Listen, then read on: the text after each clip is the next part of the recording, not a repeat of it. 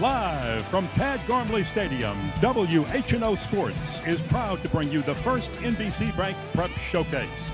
Tonight, it's a non district matchup between two of the top teams in New Orleans as the Edna Karr Cougars face the Brother Martin Crusaders. Hello, everybody. Ken Berthelot along with the coach, Wade Kaiser. Tonight, we're going to see two of the very best teams in the state, one in 4A, one in Class 5A, face off. Both are undefeated. Brother Martin started the season by cruising to two easy victories. Edna Karr stepped up in class and beat two 5A teams. A very impressive start for both schools. Tell you what, Ken, these are two heavyweights in the New Orleans area, both undefeated, like you said. And I tell you what, the biggest thing about both of these teams is this is just a tune up for when they get to their district, which starts next week. There is a wealth of talent on the field tonight. It all starts with running backs. For the visiting Edna Karr Cougars, we look at Santee Marshall.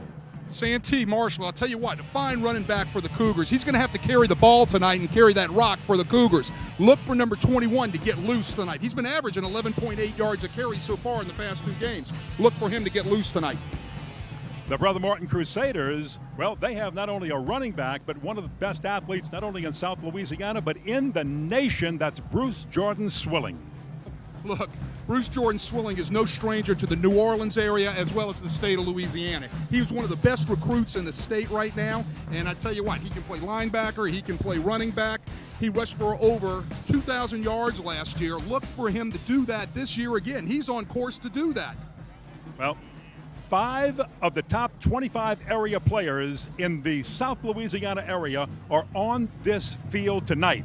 I can't wait for kickoff. It's going to be fun. Pull up a chair. Don't leave your TV set. We'll be back with the kickoff right after this on the Thursday night edition of the first NBC Bank Prep Showcase.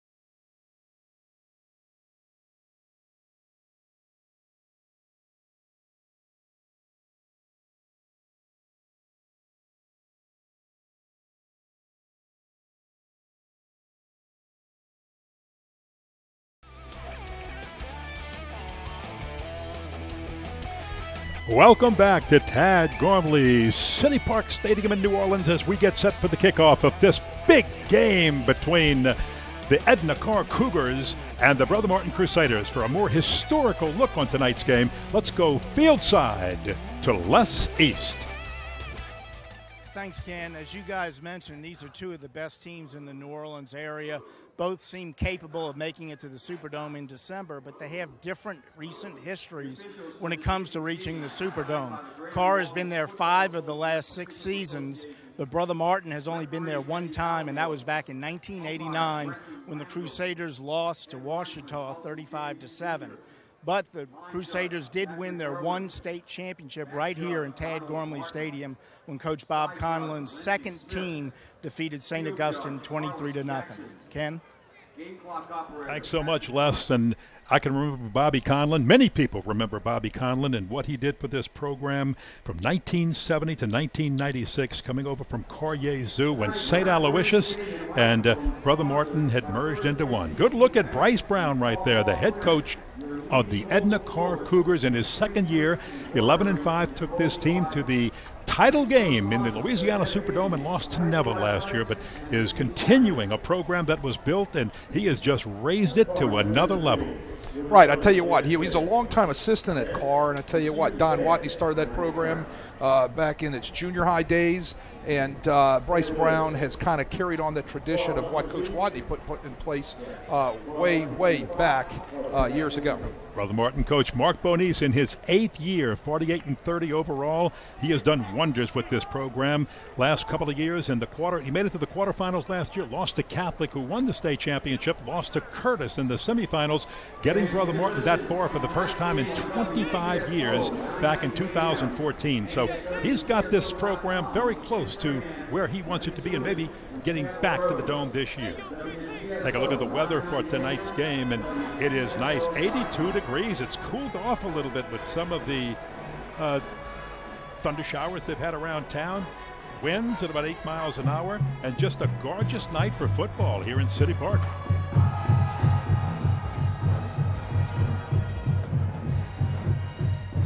Last year, these two teams met, and it was a fabulous game. 44 to 41. Brother Martin snuck out of here with the victory.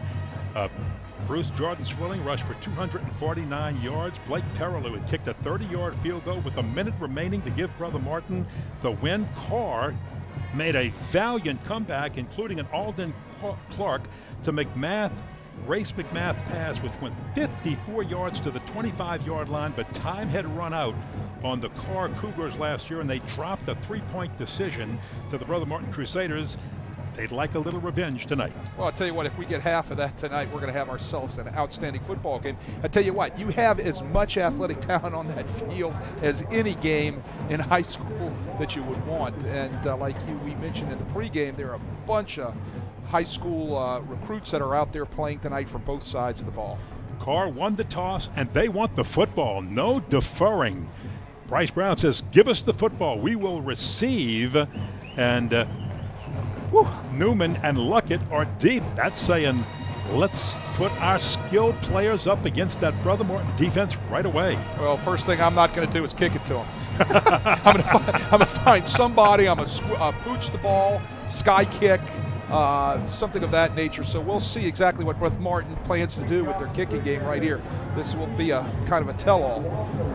Well, both Luckett, a running back, and Newman, a senior wide receiver, are very speedy and two of an excellent crop of skilled players this Edna Karr team has. So you're right, this might be one time when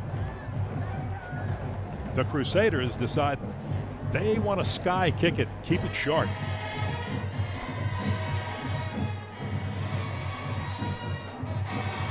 Zachary Stolberg.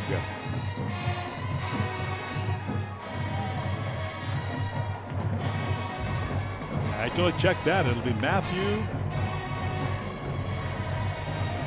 Benatti to kick off. And he will sky kick it very short. Our players bump into each other. Won't get anything out of that one, but that eliminates the possibility of a long return by the Karr Cougars. So now into the game for the Karr Cougars comes quarterback Alden Clark. He is a senior. Ran this team for the last few years and has done a great job. An Arkansas State commit. He does everything very well, loves the little bitty short passes, and thus he has completed 67% of his passes he can run, he can throw, and is just a master at the Cougar spread offense. On first down at the 33 yard line of Karr for the Cougars. He'll go from the gun, throw the screen on first down to Dewan Dixon, the leading receiver. Dixon has it for a few yards. And Dewan Dixon is just one of those key players we're going to be watching very closely for the Karr Cougars. We have a flag down. First play, first penalty of the ball game. Our referee tonight is Eddie Alamour.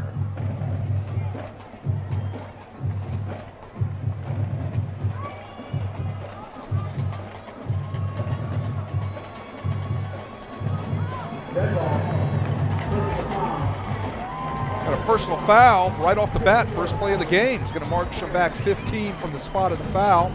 and uh, that's not a good way to start off behind the chains like that. Well, it wiped out a, a good gain by Dixon, who's one of our players to watch, and there are a few other good ones. One you talked about in the open, which is the running back Santee Marshall, also. Right, and I tell you what, also right there is McGrath, but the Dewan Dixon, great hands, great speed, has been averaging 18.1 yards a catch this year uh, so far in the past two games. He's a burner. So on first down, there's the toss out, and that's caught by McMath, and Race McMath breaks a tackle, and look at him go. These Karr receivers are so elusive. Brought down by Ryan Alfonso, but the Cougars strike quickly with a big play. You see a great pass right out there by Alden to McMath. He catches the ball and gets vertical.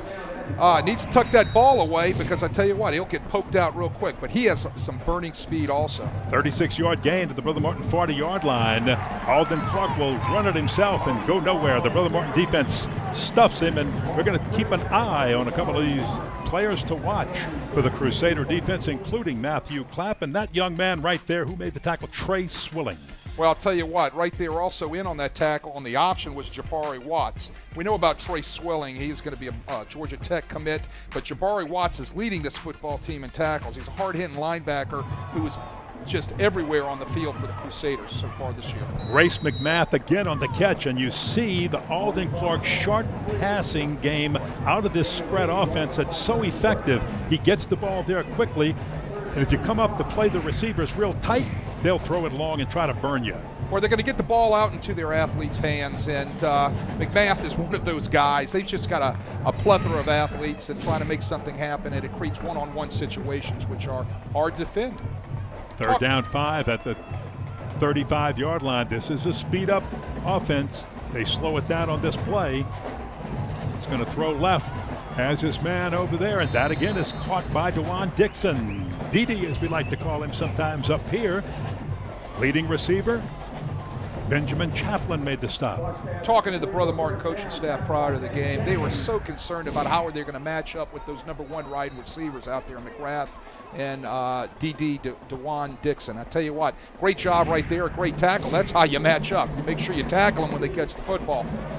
Good numbers 236 yards, two touchdowns. Got a first down for his team on that one.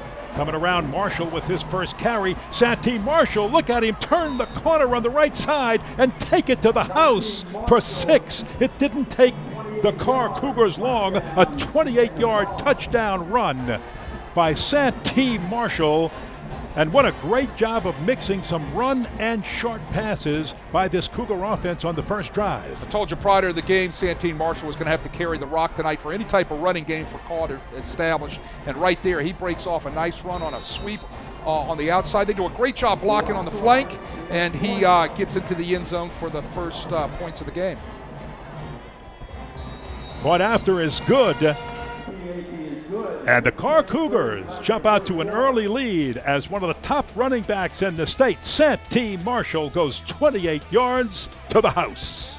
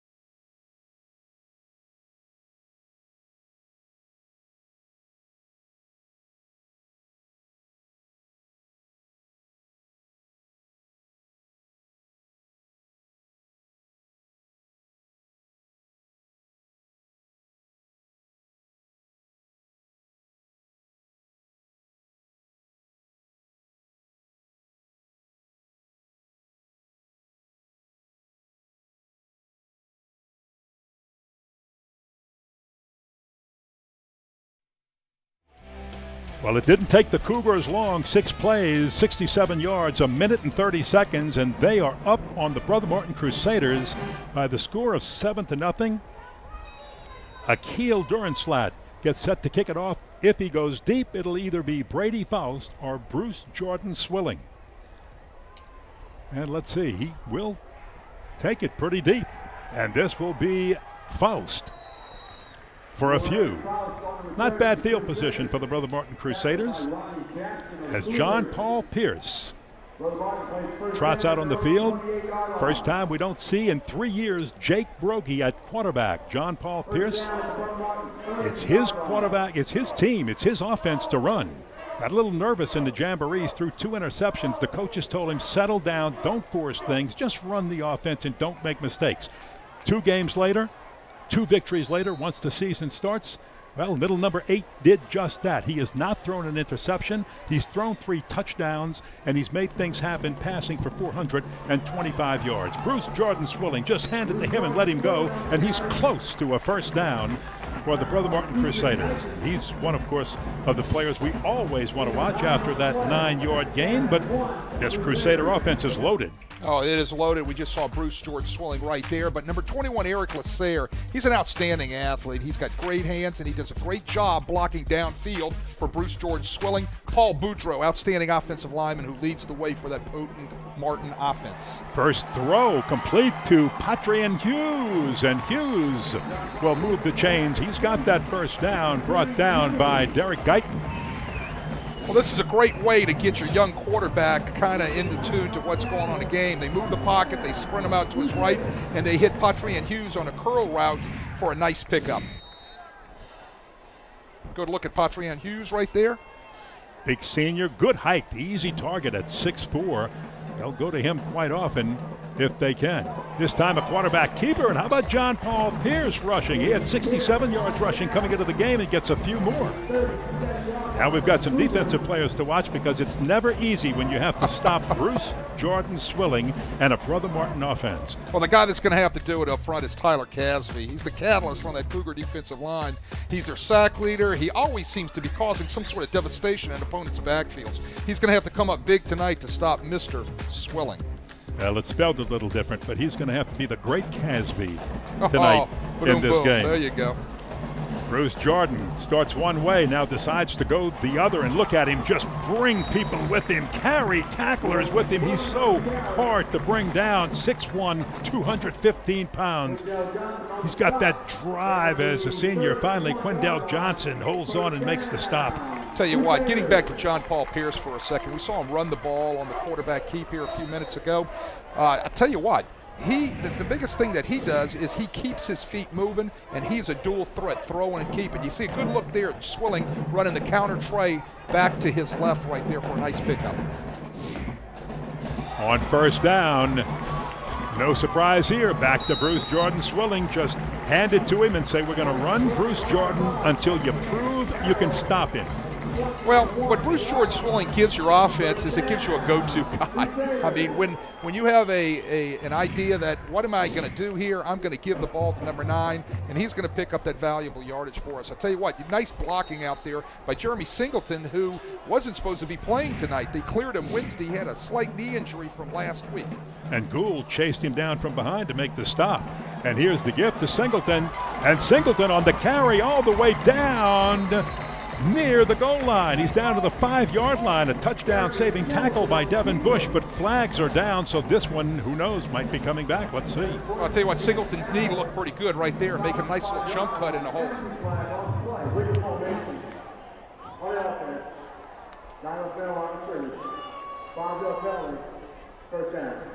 Back you up with a little illegal procedure right there. Uh, somebody just quite didn't get set before the play took off.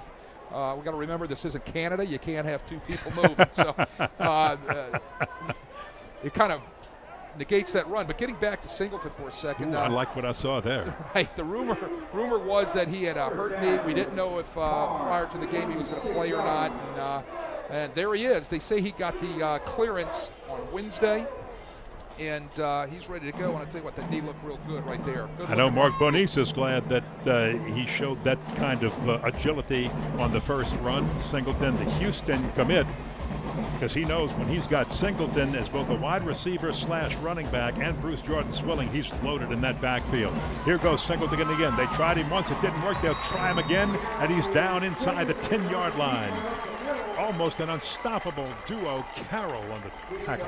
I tell you what, that's a great little rake that Brother Martin's put in, putting Singleton at the wildcat position, running the zone read and just pulling the ball and running him up inside.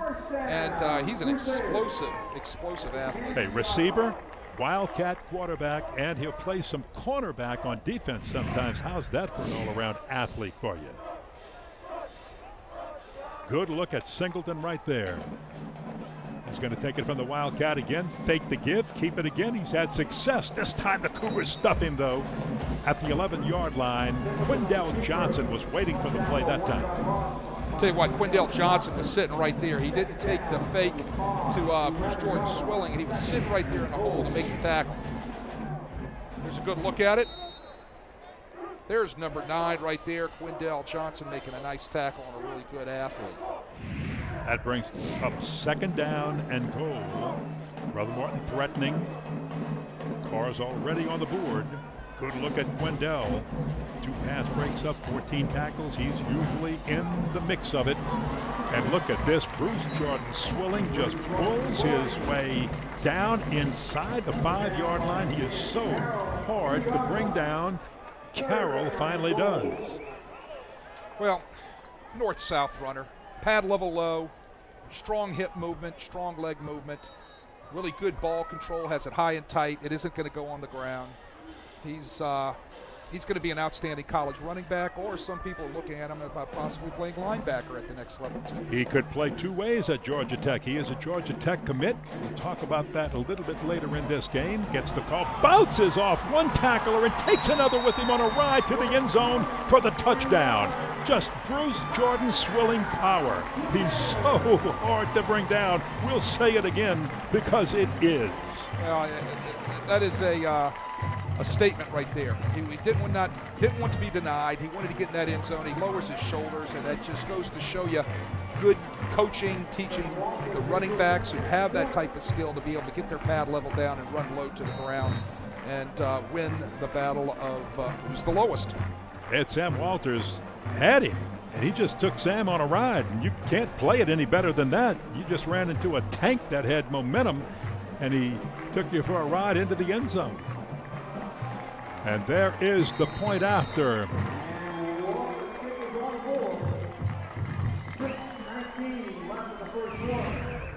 Sam Walters with the PAT. Nice level of his pads right there. And he just runs over the first defender and gets into the end zone.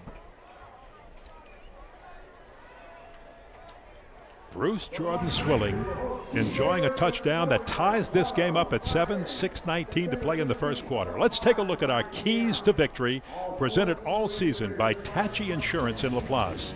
Insurance is not for what will happen, but for what could happen.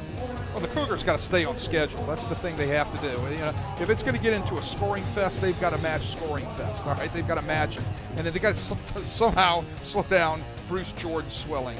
Now, now the Martin on, on it's got to play keep away. They've got to hold on to the ball like they did on that series, try to keep it out of that high octane offensive car, and somehow they've got to match Karr's speed, especially on the flank with the two real good wide receivers, McGrath and Dixon.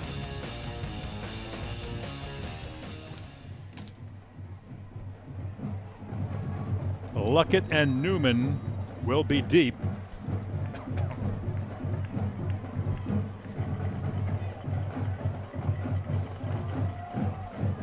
Walters didn't kick it to the, the deep man last time, but he will this time. And it is Warren Newman who will return. Again, makes something happen and got some extra yardage near the 40 yard line. So once again, Edna Karr will have good field position starting at the 40. Tackle made by Trey Swilling. Well, Newman picks and pecks his way through there. Martin decides to go deep that time. They have decent coverage, but, uh, you know, are you going to sky kick it to the uh, 35 or are you going to kick it deep and risk a run back? Alden Clark on the first series, 4 4, 57 yards passing. loves to just pick you to death with the little short passing game. But he will uncork the bomb, and he's got the arm to throw it. That's his first incompletion of the game. Threw it into traffic. A lot of people there. Pressure, a lot of pressure being applied by Walker, Dylan Walker. Uh, Jabari Watts was right out in the uh, middle of that wide receiver screen, too, causing some uh, distraction, as you say, out right on the perimeter. Let's see if the Crusaders try to apply more pressure. And Clark says, if you do, I'll just take it and run right up the middle. And does, and getting some positive yardage out of that. We are nearing, and we'll get to the hydration break halfway through the first quarter. 5.56 to play in the first. We'll take a break with the players as they hydrate. A great one here so far in the first quarter, tied at seven.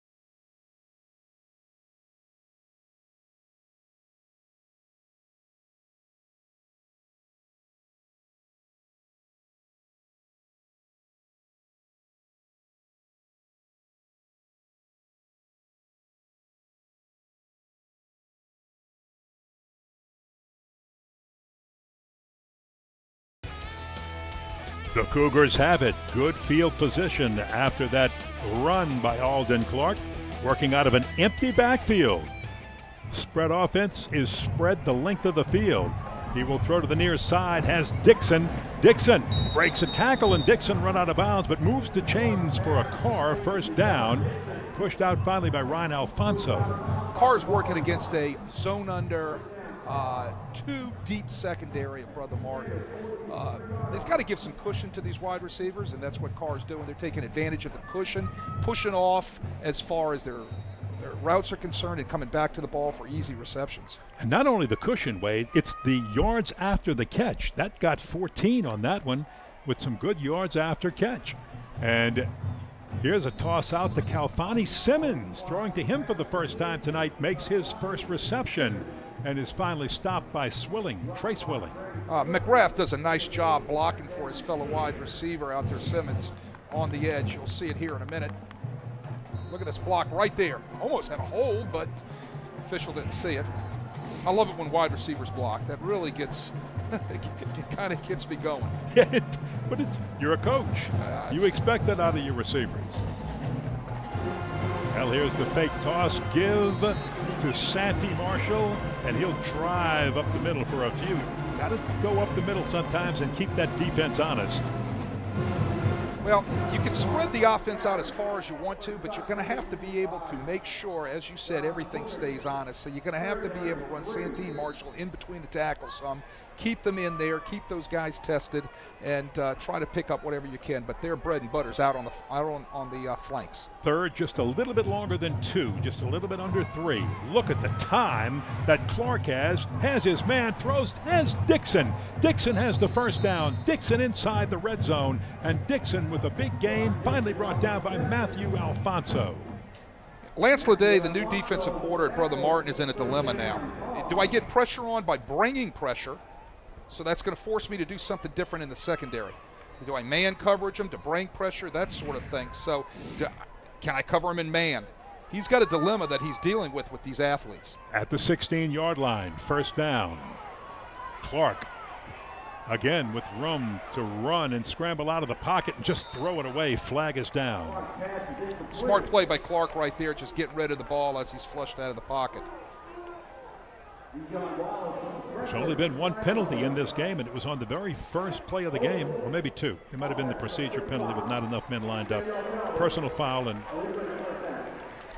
All right, we had a holding penalty right there, which is going to take them back 10 yards from the spot of the foul. It's going to back them up a little bit. But we saw this way back on their first uh, series. They had a long first and uh, first and 15 or first and 20.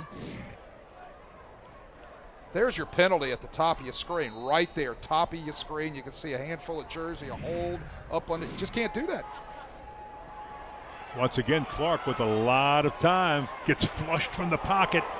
Got the throws long. It's intercepted. Trey Swilling on the pick. Here comes Swilling back, and there is Trey Swilling making something happen for the defense. Good anticipation on the ball, and that's one of the things the college recruiters and Georgia Tech loves about him, his anticipation and break on the football. He's a Georgia Tech commit, and I tell you what, uh, Alden just kind of forces that in there right there. He throws into double coverage. You can see that Brother Martin had two defenders all around the intended receiver, underthrown, thrown off the back foot of Alden Clark, and a great pick right there by Trey Swilling. Good look at him right there. I really like that fancy headband he's got. Pat Swilling's son, and one of the reasons he chose Georgia Tech is because Pat Swilling was an All American there. That name is familiar. Yes, he is one of the Dome Patrollers with the New Orleans Saints, and very proud of what both Trey and Bruce Jordan have done for this Brother Martin Crusader football team. So John Paul Pierce on the fake handoff throws it behind low and misses his intended receiver Jeremy Singleton. The big part of the offensive game today, you're seeing it from the pro level all the way down to the high school level now. is what is called run pass option, Ken. RPOs. That was an RPO by Brother Martin. They counted the numbers of the Karr defenders in the box. They pulled the ball away from the running back and tried to hit the receiver on a slant. RPO. It's the new name in offensive football that you're hearing now. John Paul Pierce with just a deep drop has a man off the fingertips of Singleton. Well, if Singleton had anything wrong with that knee, I'm not seeing it tonight. He's looking pretty doggone healthy. Well, I tell you what, that's just a little bit of air taken out of that. That'd have been a completion down there. He had a step on the uh, Karr defender. Uh, possibly, if it would have been on the money, he would have taken that and gone. Well, sometimes a quarterback receiver will get together and say, so close, let's try that one again. Third down 10. First thing the Crusaders have to do is just move the chains. Play action. Roll, toss, incomplete, intended for Eric Lasser out of the backfield. So the Crusaders are looking at fourth and 10 in the punt team will trot on. Lasser really didn't have a chance right there. Good look at Lasser, fine wide receiver. The ball was a way overthrown. Didn't give Lasser a chance to catch the ball on the boundary and get his feet in. Now this is a good one between the Brother Martin Crusaders and the Edna Karr Cougars. Newman will be deep.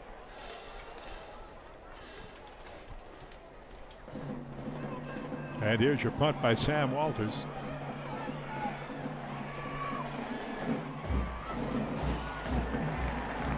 Newman, not much on the return, but the Cougars hold, their defense holds, and they've got the football, and we're still tied. Tomorrow night on WHNO, it's a special Friday edition of the John Fourcade Show presented by Veterans Ford. The former Shaw, Ole Miss, and Saints quarterback is joined by co-host Mike Detillier. They'll look ahead to the football weekend and much more. The John Fourcade Show tomorrow night at 6, right here on WHNO TV 20. First and 10 for the Cougars. Going straight ahead. Tyreek Luckett with his first run up the middle. There's a good look at Clapp, who anchors that defensive line. Uh, I tell you what, he is one of the uh, the, the, the, Clapp. Uh, uh I'll call it legacy at Brother Martin. is that the right word? I think there's been a Brother Martin. I think there's been a Clapp playing at Brother Martin since uh, they became Brother Martin. Goes all the way back to Dad Tommy, and he's uh, a volunteer coach on the sidelines. What a jarring hit after the catch by Anthony Spurlock, and he was really whacked. A 12 yard gain, but Spurlock paid for it that time. great stick right there by Alfonso and Swilling. But I tell you what, that's a nice catch by Spurlock holding onto that ball. Got the first down with it. Right up the middle. Here goes Luckett, and Luckett will move the chains again, and uh, you're seeing the skilled prowess of some of these skill position players that the Cougars have. Alfonso on the stop again, a 15-yard gain. So it's gains of 10 and 15 on two plays, and quickly the Cougars are almost to the red zone of the Crusaders. Good look at Luckett right there. He exploded on that inside zone right up the middle came into the season with only those nine rushes, and it's just because Santee Marshall gets most of the rushes, and they use this short passing game as they did right there to Anthony Spurlock again on the left side, curling over near the sideline, catching it, and going out of bounds. Tell you what, Brother Mark just can't get any pressure on uh, Clark. And, and, if they can't get pressure on, he's going to sit back there all day with those fine receivers uh, working into little holes and zones, and it, it, it, it, could get ugly fast. Oh, another first down. Look at the pace. Look how fast they're, they're getting that ball into play. This is a run down near the 10 yard line. And once again, Tyreek Luckett resting Santee Marshall. Brother Martin right there did bring a blitz that time off their right edge, Swilling blitz off the right edge, but they ran the ball right up the middle, and uh, he didn't get a chance to get to the uh, hit.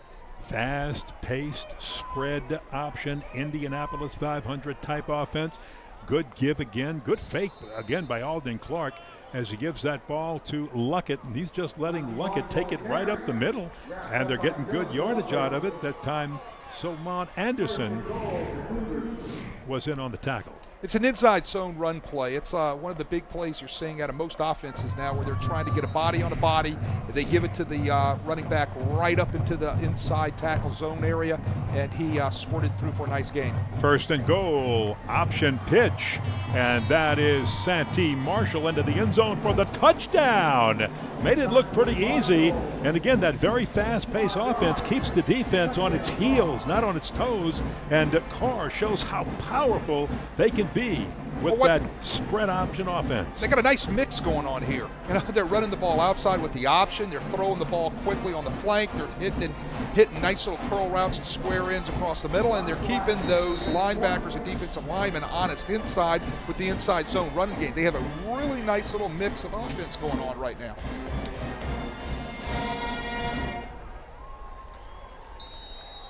Tell you what, that was an impressive drive. Extremely impressive. You're not kidding. Extra point is good by Akili Slat.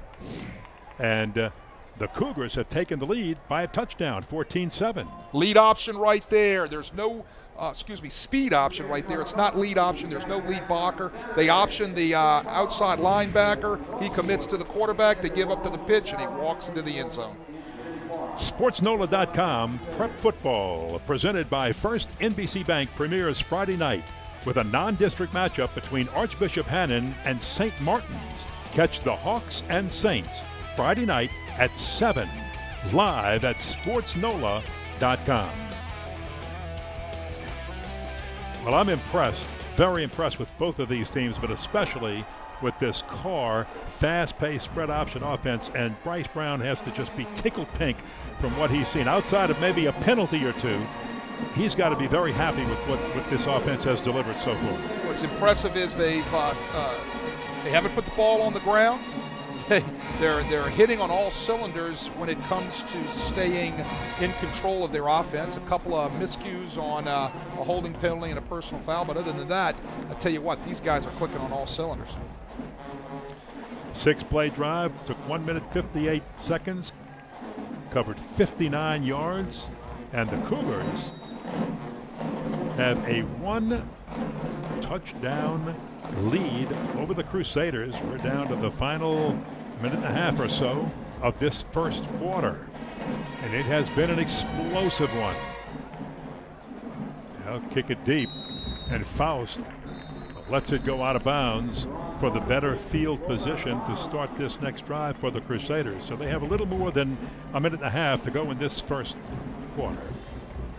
What would well, you rather do here? would you rather take the spot of the football or make them kick it again and try to get it in the hands of either Faust or Bruce Jordan? I'm, ta- I'm, I'm making them kick the ball one more time. I don't know why you like it, but I'll tell you why I like it. You're always making that, that special teams of the opposing team run down the field, and if they lose one step, that could make the difference in you picking it up and breaking it down the field. Maybe Well, they get tired after a while in the heat and humidity. The reason why I would always let them kick it one more time is I, I like to see them uh, possibly put the ball out of bounds again, and it turns into a field position type of thing. And uh, That's what Mark Bonis is going to do. Well, I, I don't think he listened to me, but I mean, uh, I mean, it's just it's just something that I think most coaches would like to see when they're trying to play a field position game against such a high-scoring offense like Karr's. So it, it is about field position. So let's let the uh, kicker kick it one more time. If he puts it out of bound, bounds again, then you know I'm sitting pretty good, nice field position. Now, Karr had already sent their defense out at the 35 yard line, had to pull them off the field, put the kicking team back on, and get their place kicker, Akili Duranslat, number 49, right there, back on the field. This time, since he's been kicking it to the lower part of your screen, to the right side, Brother Martin moves Bruce Jordan Swilling over to that right side. Now let's see if Duranslat changes the way he kicks the football. Well, he will. He won't kick it to Bruce Jordan. He'll sky kick it instead. Flags go down again. Well, they sky kick it away from Jordan. All right, so they would have the ball right at the 45 yard line, but Karr hits them late, so they're going to tack on another 15, and they'll have the ball at uh, their own, uh, the Karr 40 yard line. So it pays off making them kick again. That's why I would have kicked again right there. Yeah, and a good reason. And that's the fourth penalty in this first quarter. And right now, the only thing that's really hurt Karr in this first quarter is penalties. There's your call by Eddie Allamore, dead ball, personal foul. They're going to mark it off, and uh, great field position for the Crusaders as they start their next drive. You know, it's one of those two where you might run into somebody and hit somebody even on a short kick, but you're trying to jar that ball loose. You're, you're trying to create, maybe force a fumble. I'll tell you what, is is is, is Brice Brown watching the uh, our telecast right now? a second Instagram. There you go. that's what it is. A second Instagram. That's that's what he's doing. But no, I'll tell you what that is right now. Uh, the Federation came out uh, clearing last year a rule for all high schools where they can look at video now on the sideline, and that's what he has. He has a Lincoln video hookup to his cameras, which allows him to get the playback of things immediately on the boundary. It's a huge coaching tool. They're doing it in the NFL right now. That's what Brice Brown's was looking at. Well, after the sky kick and the 15 yard personal foul penalty,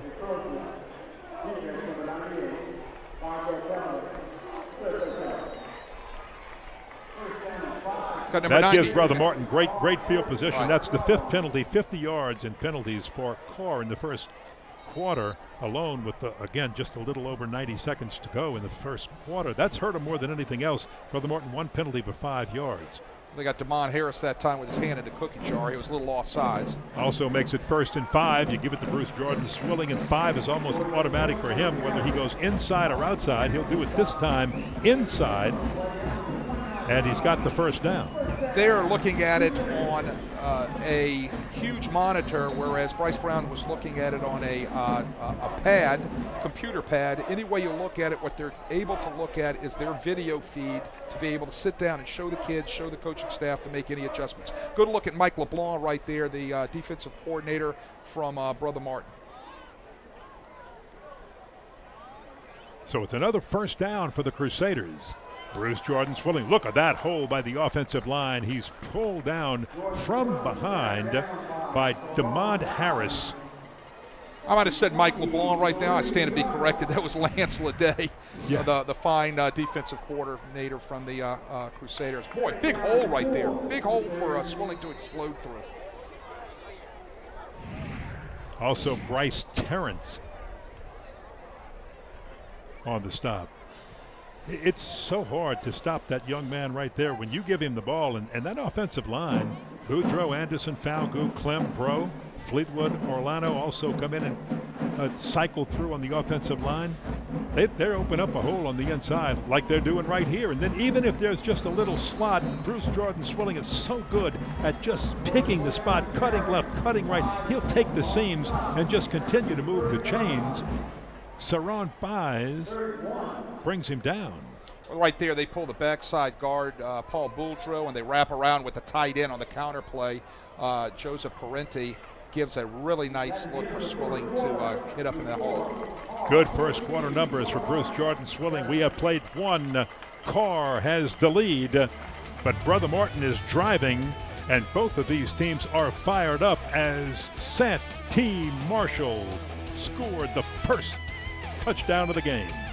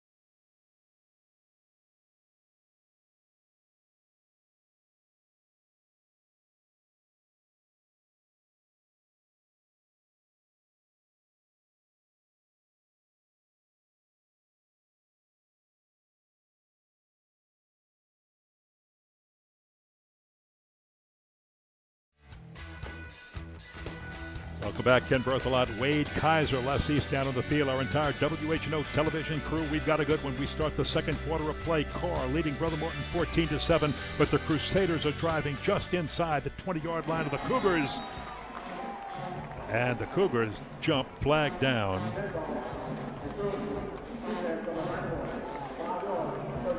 That's Third second, down and one. My goodness. Yeah, second Yep. second time tonight. That time they got uh, the fine uh, defensive linebacker Tyler, oh, uh, defensive lineman Tyler Casby, but they've got to be doing something with their cadence uh, uh, to be able to pull them off in that particular situation. Whether they're going on two and they're making uh, uh, all types of sounds from the quarterback to be able to draw them off sides. This is the second time it's happened tonight. Six penalties, 55 yards, and that one allows the Crusaders to enjoy a first down. Credit John Paul Pierce for that cadence change, and this is a gift to Bruce Jordan Swilling, and like Marshall Santee, who can stop him, he takes it all the way into the end zone. Touchdown, Bruce Jordan Swilling. Well, it started- one extra point away from being tied again. Right. It started up front. Great blocking up front. But I tell you what, when he gets to the sidelines, he better pat his buddy on the back, Jeremy Singleton, because Jeremy Singleton laid the block out on the edge to be able to let him walk into the end zone. Great block by number three, Jeremy Singleton. On the first play of the second quarter, the Crusaders are close to tying this one up.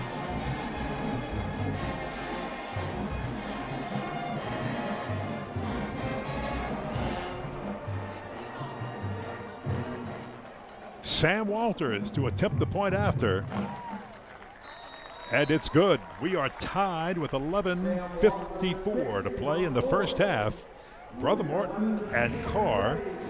Here's another look at it. 14. Here's another look at it. Watch Swilling bounce outside. Watch number three, right there. That's Just got his block. hands, got his hands right up into him a little bit, shielding him off, allowed Swilling to make his cut to the inside, and walk to the end zone. Sometimes the best block is just a good shield. And Singleton was just that for Bruce Jordan. Bruce Jordan Swilling has just. uh, we'll talk about him in just a moment. Because right now it's time for Traditions, presented by Joseph A. Bank, the new tradition since 1905 with locations downtown, in Metairie, and in Mandeville. Venerable Tad Gormley Stadium celebrates a pair of anniversaries this month. Tomorrow marks 52 years since the Beatles performed in front of a sellout crowd here in 1964, and next week will mark the 10th anniversary of the first football game played here after Hurricane Katrina, matching Brother Martin and Higgins. Were you at that concert in '64, Ken? I tried to get there, couldn't get tickets. I was four Five dollars was a lot of money. It was a five dollar ticket, and that was a lot of money back then. I was in high school. Les East, downstairs, some of your thoughts. You were probably at that Beatles concert. Yeah, guys, you know, this game's turning into a track meet here with all the touchdowns, and there was quite an interesting track and field meet held here in 1992. It was really the renaissance of Tad Gormley Stadium. $8 million in renovations got the stadium up to speed for the Olympic trials, and we had uh, people such as Carl Lewis and uh, Jackie Joyner Kersee qualifying for the Barcelona Olympics here. It's probably best known for the Butch Reynolds litigation over his uh, drug testing and also for Dan O'Brien no hiding in the pole vault and the decathlon. But also a lot of uh, Olympians appeared here in 1992. Back to you, Ken. Thanks, Les. And while you were doing that, Brother Martin was getting uh, a little tricky. They tried the onside kick. We have a flag down? I don't know if the ball went 10 yards. We're going to get the call here in a minute. We'll take another look. That?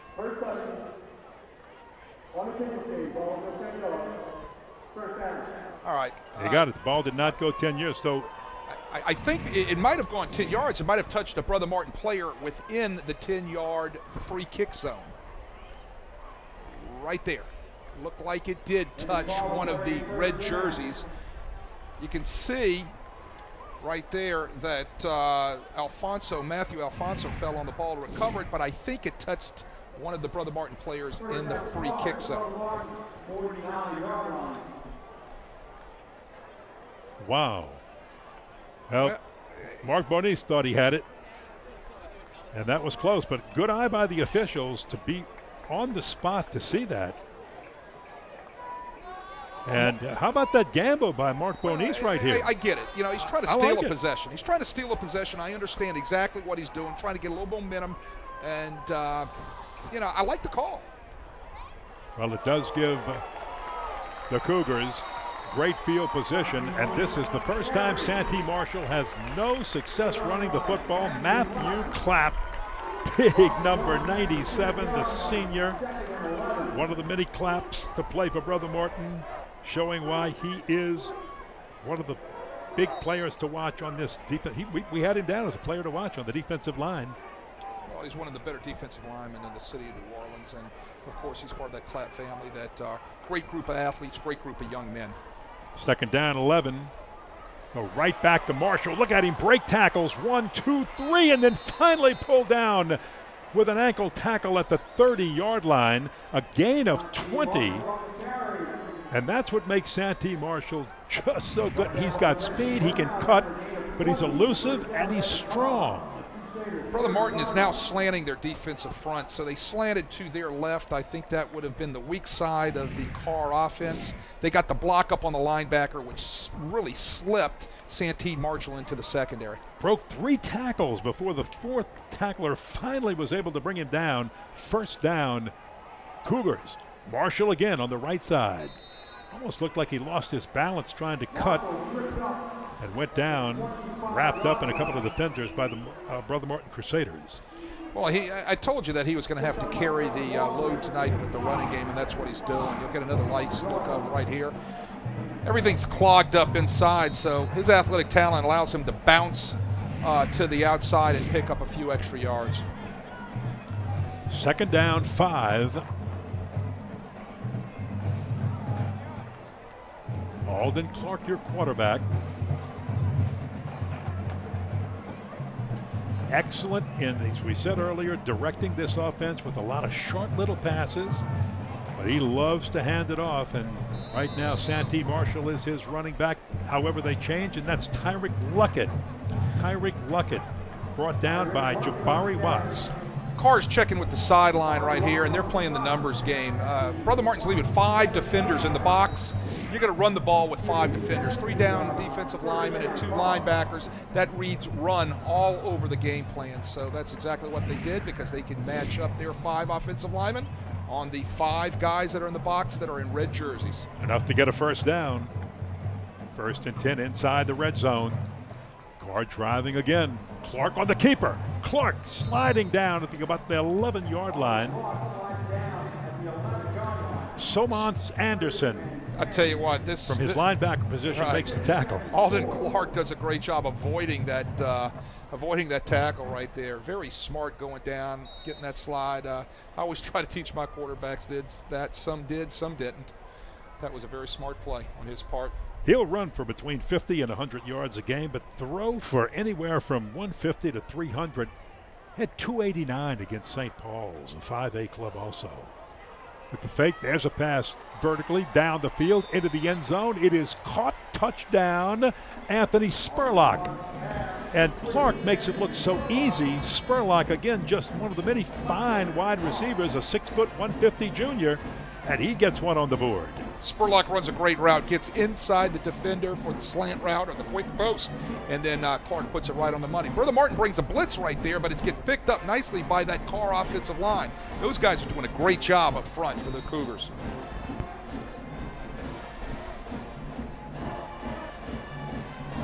Well, here comes your point after. Durant Lap drills it through.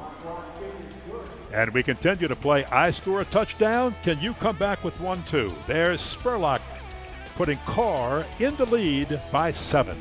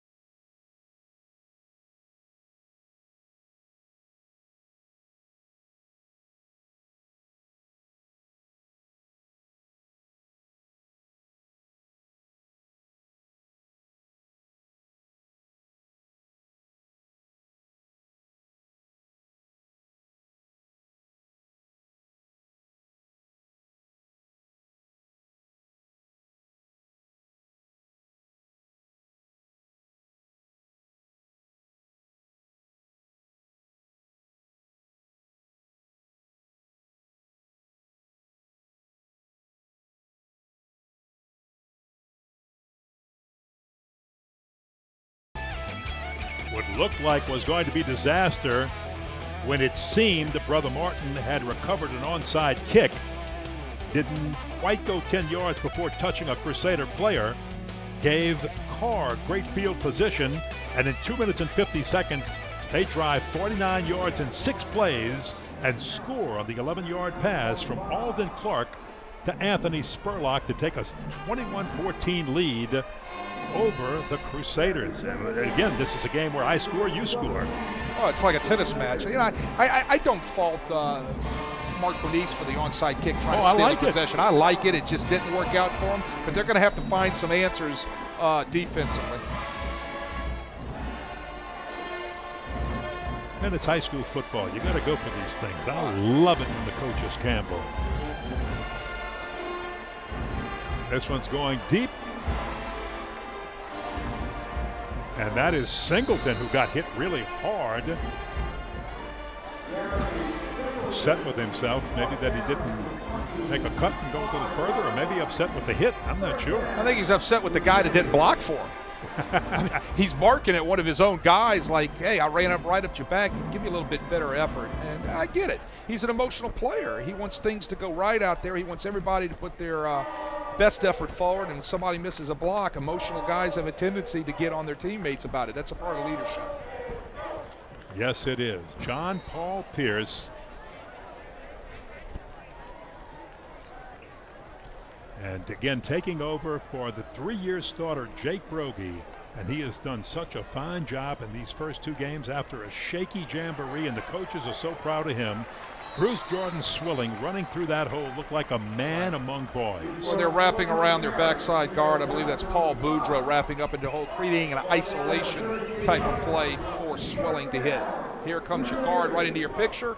That's number 67, Daryl Anderson wrapping around into the hole, uh, blocking the linebacker, giving a huge isolation look for Jordan to accelerate up into. 13 yard gain brought down by Quindell Johnson and Chance Carroll. It's just so hard, as we have said so many times before, to stop the big man. This time to fake to him, toss out to Singleton. Singleton with one move, and the second one won't work. Quindell Johnson wrestles him to the ground.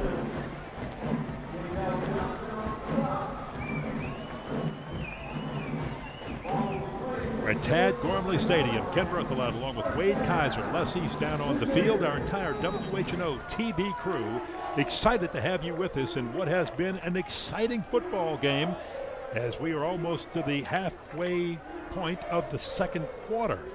Karr 21, Brother Martin 14. Can anybody stop the other's offense? That's the question tonight.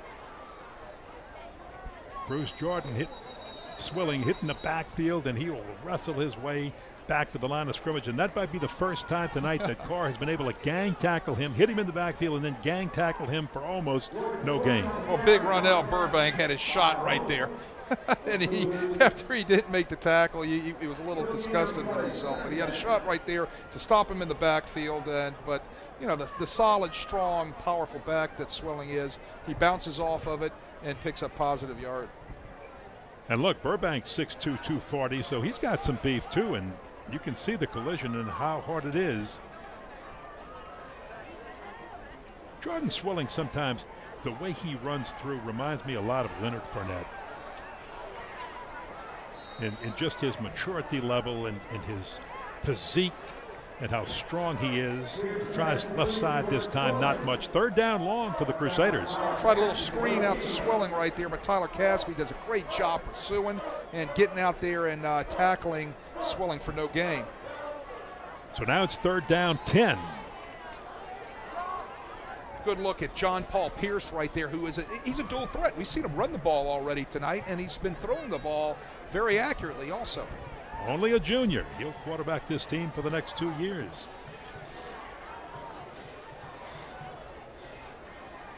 Good play action. He's flush, drops the football, and will lose lots of yardage on that one. Just comes right out of his hands and drops on the ground. I feel for the young man. Sets his feet, keeps his eyes downfield, and just falls out of his hands and smart move. He falls on it to not take any more loss. You know, um, all the way back to the 37-yard right. line of the Crusaders forces them to punt the football away. Mark Bonis right there talking to him, telling him what to look for, what to do. Mark Bonis does a great job developing young quarterbacks, and he'll do a great job developing John Paul Pierce. Another flag down here.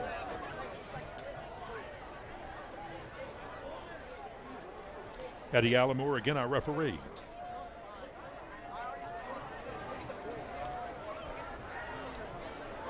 All right, he called a timeout on himself. Uh, I don't know if it's something he's coming over to discuss with Mark Bonis or if he's uh, going to take the heat and humidity uh, timeout. Uh, now right would be the we'll good time to take the hydration break because you, you broke the momentum. Let's see what Mark Bonis has to say about it. We'll take the hydration break, and they will too, because there is a timeout on the field. So back in a moment.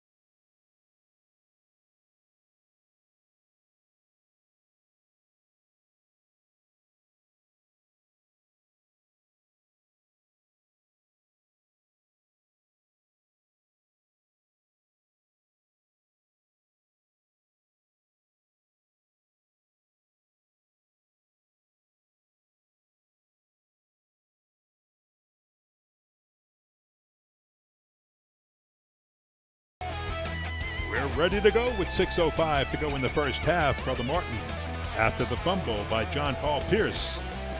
One of the first mistakes by this Crusader offense in the first half. Will have to punt the football away on fourth down and 37. That's because Pierce was dropping way back. Then the football slipped out of his hands. He had to go back and get it. Newman didn't call for the fair catch.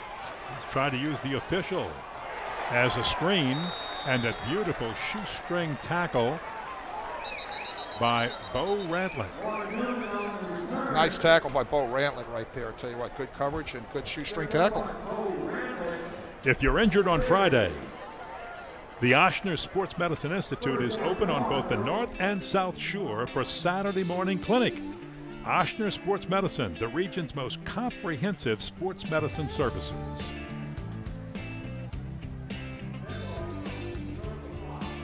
A 43 yard punt by the Crusaders. Flag is down? I believe they threw I a flag. just saw it. Yeah, just saw the flag. Didn't get the call. They're backing them up half the distance. Probably a hold, something of that nature, to back them up that deep into their own territory.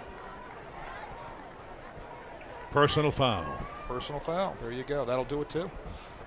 That'll back you up just as deep as the hold will. That's the third or the fourth one on the night by the uh, Karr Cougars. Also makes a first down and 20.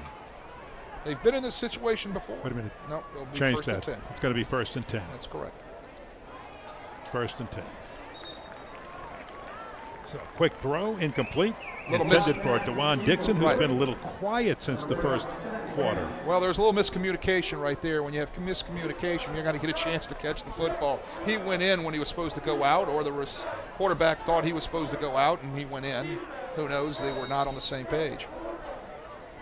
Second down, 10. Now the Cougars have to be careful. They're backed up to their own eight yard line. Clark with lots of time.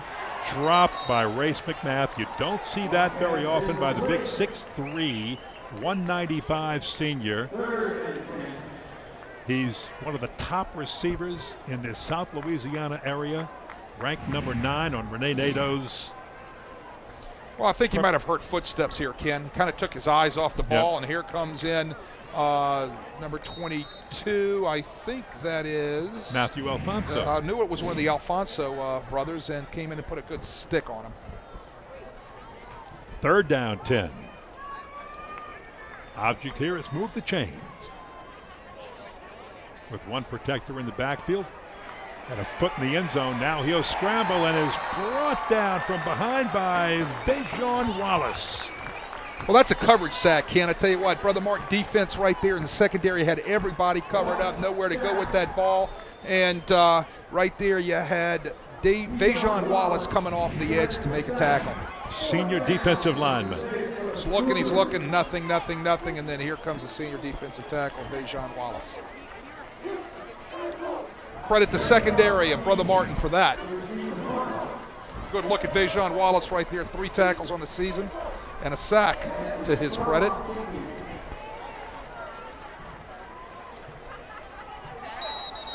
So here's your first punt of the ball game. But we won't get it before we see what the flag is all about.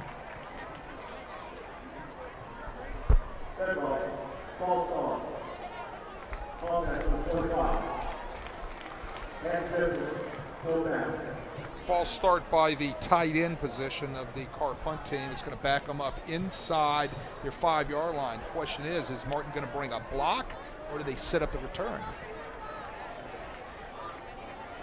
LeBeau is the punter. Short punt. And then takes a Brother Martin roll at the end back inside the 30 yard line. So the Crusaders will have excellent field position with just uh, under five minutes to go here in this first half of play. The first NBC Bank Prep Showcase heads to St. Charles Parish next week as Hahnville faces Destrehan in a District 7 5A rivalry matchup.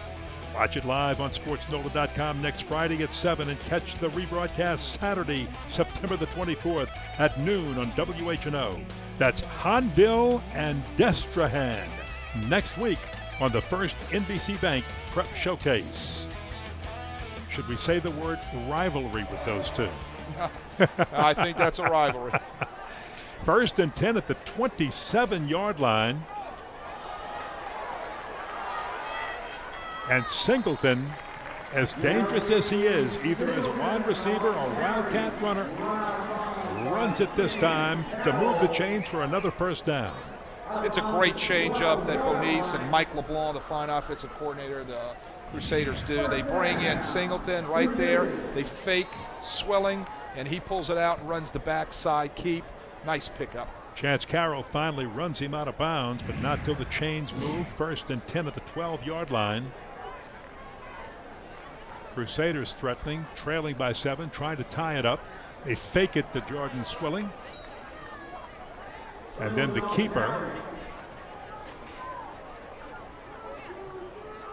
Singleton not showing any signs of the knee injury that he suffered a little earlier this season. Looks like he might be very healthy because he's made some strong cuts, good runs.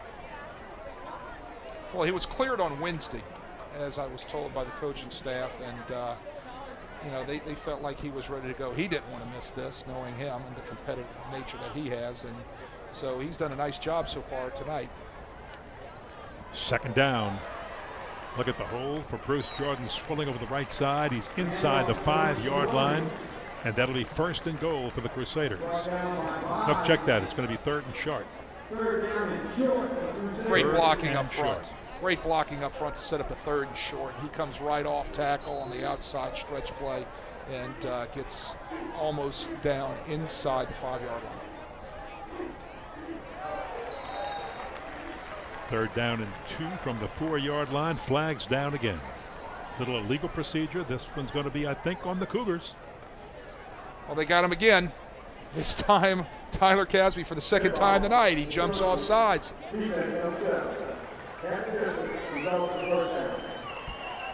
I think this is the fourth time tonight that the Cougars have done this.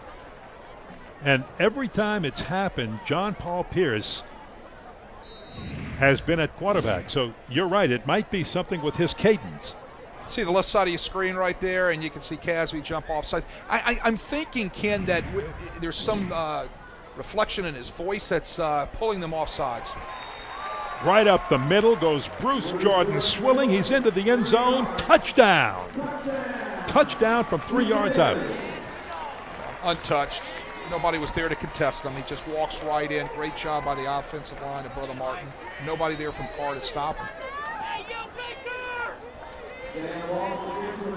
An extra point away again. Sam Walters' toe for Brother Martin can make this a tie ball game with three 10 to go before halftime. Good look from the end zone camera. Splits the uprights. We are tied at 21. It is an offensive shootout and an explosive display of power football.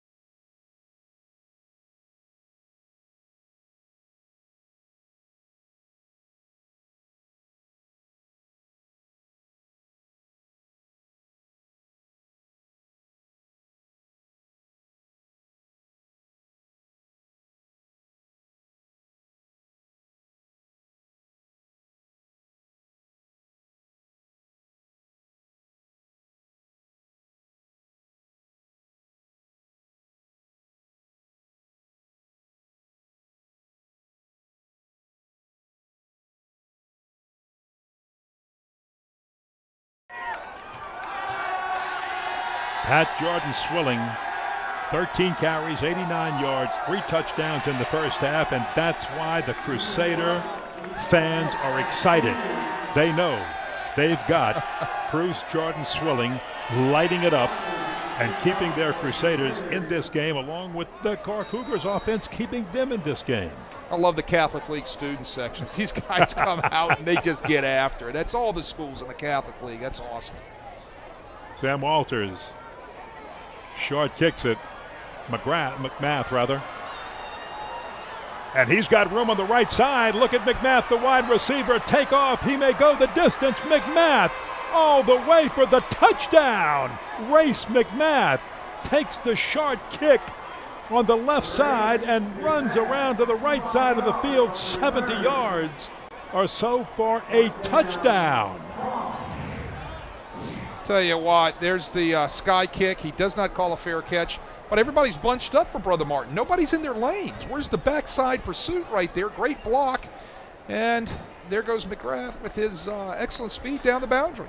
That's 68 yards. 68 yards right, to right. be exact. 68 yards of athletic talent right there. But uh, Brother Martin's nowhere to be found on that backside. I know they're going to have to get that fixed because I know Bonis will not let that take place again. Durinslat for the point after. And as quickly as the Crusaders tied it, Karr has taken the lead again by a touchdown. 28 to 21, and this is a racetrack. My neck hurts. wow. It's like it's like I'm at the uh, uh, U.S. Open and the tennis ball's going back and forth here. A 68-yard touchdown, a kickoff return for a touchdown by Race McMath. Look at this block right there. Saw Trey Swilling was the contained man on Brother Martin's left hand side, but he gets blocked. Everybody else was all bunched up insides and outside their lanes. Hey. You got to stay as deep as the ball and you got to stay on leverage as the ball, and there was no leverage right there.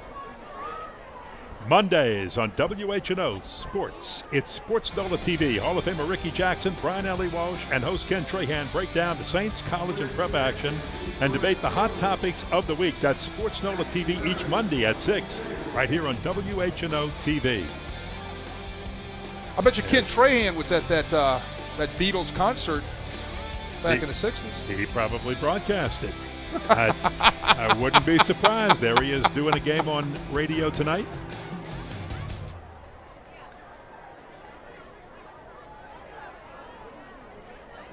So here comes the Karr kickoff. They're back in the lead by seven, just under three minutes to play in the half. And neither Jordan Swilling nor anyone else can get to that football. Chris Smith, a running back, was back there with Jordan Swilling. They'll let it go, and let's see if Brother Martin now can take these final two minutes and 57 seconds drive the field and tie this one up, we'd have a new ball game for the second half. And boy, wouldn't that be something? The way these two offenses have played, type of game that will give defensive coordinator fits. You can see Mark Bonis firing up his team, making sure the plays are called, the game or the, the two minute drill is, is set. Well, he's, he's, he's a little upset right now because he doesn't like giving up kickoffs for touchdowns. No coach does. Um, you know, especially when you plan all week to kick the ball away and sky kick the ball and make sure. But that guy right there is extremely happy, I'm sure, with his special teams, Brice Brown. He's excited. Yes, he is. He's excited. He doesn't show it, but he's excited. Well, he's showing it. He, uh, Brice just everything's calm, everything's cool, everything's collective, and his team takes that demeanor. They don't get too fired up. They just go out and do the job. Johnson on the stop, not much that time for Bruce Jordan Swilling. Look at this work right here he's got to do just to pick up one yard. Wow. Look at the pursuit right there by the white jerseys. I know um, Darnell right there, uh, Ronell right there, Burbank is out there and he's happy because he uh, uh, he had missed a tackle earlier in the game in the backfield, but he's out there hustling and he kind of makes up for it. At the 21 yard line, second down, nine. John Paul Pierce running the show, handing off to Bruce Jordan Swilling. Look at this hole up the middle. Here goes Bruce Jordan Swilling. Look out. Look out. It's a foot race, and he's caught from behind. My goodness, by Devin Bush with a touchdown saving tackle. But Bruce Jordan thought he was gone. I'm going to say this. Devin Bush needs to bottle what he just did because you don't see many people come and catch Bruce Jordan Swilling from behind. Here it is. Good look at the inside zone at the, play. At the 70 yard mark. Wow. Great block right there by Daryl Anderson, right in the hole. And then here comes Bush, not giving up on the play. And he pulls down Bruce Jordan Swilling from behind. I think he needs to uh, bottle whatever he did right there and kind of sell that because that does not happen too often anywhere in this state. A 70 yard gain, but it was a touchdown saving tackle. First and goal at the nine yard line for the Crusaders. They threaten. Bruce Jordan again, he's not winded, not much going in the middle this time, though, as he fights his way back to the line of scrimmage, maybe another half yard. Sheldon Celestine. Sheldon Celestine, right, steps right up in the hole from his secondary position and brings down uh, Bruce Jordan Swilling. Uh, he, he, he's not winded. He can make that run again. We've seen him do that. 16 rushes, 160 yards, three TDs already on the evening. I'm not fast enough and do the math, but I'll tell you what, that's averaging a lot of real estate per carry. Mark Bonis knows his team has to get it in as we go under the one minute mark in the half. Give it to Bruce Jordan. He'll dive. He slipped in the backfield, lost his footing, and just dove forward to try to save something, and he did. Well, his footing wasn't quite right there in the inside zone play. Sidestep, crossover, read the guard box area, and look for the opening. And I think he slipped on his sidestep. An official's timeout. One of the Crusaders is down. It's offensive lineman Nicholas Clem, number 74, a big 5'9, 236 pound senior. You see it right there. A little footwork problem by Swilling, and I think his helmet came down on Clem's leg or knee or thigh or something in that that hip area to to injure Clem. They're already banged up on the offensive line. Talking about Brother Martin, that is. They uh, uh, they have one of their offensive linemen uh, out on the year. Um, that's Runnels, Justin Runnels. I don't know if he's going to come back or not, but he was a projected starter on that offensive line. And now Clem's down, so that would be two guys out that they'd have to bring in uh, a couple of backups for.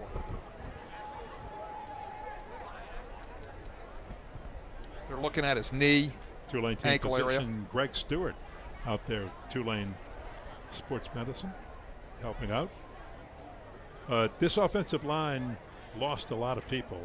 And uh, as a matter of fact, they lost four of the five starters on that offensive line. But all of these guys played last year. Most of these guys had a lot of playing time, and they came back. And this is a senior laden offensive line. You've got four seniors and one junior.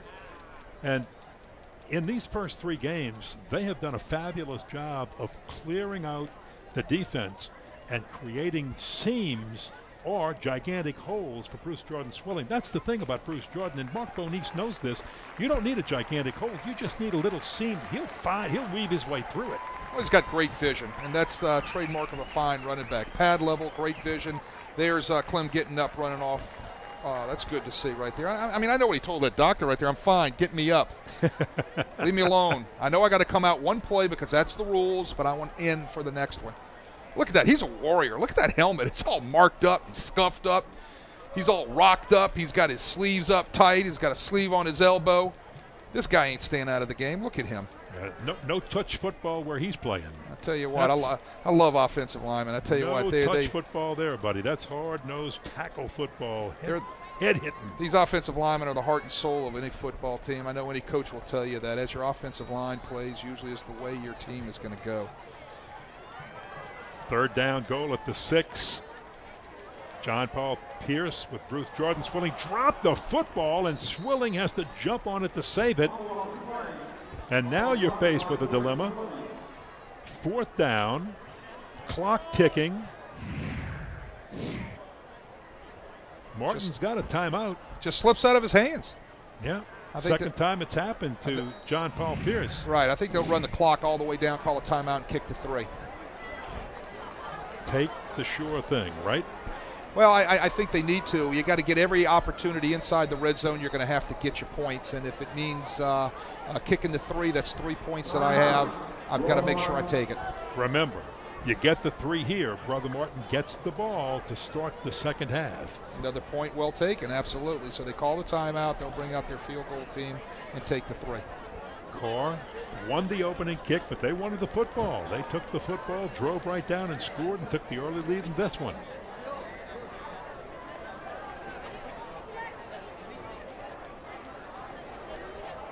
Now the Crusaders want to put this on the foot of Sam Walters. He has been perfect on all the extra points. Watching him and Stolberg, the other kicker on this Brother Martin Crusader team, they both have a 25 35 yard, pretty accurate range. So this line of scrimmage at the 18 yard line. You're looking at 25, about a 30 yard, 35 yard field goal. If they put it down right there at the 25 yard line, let's see.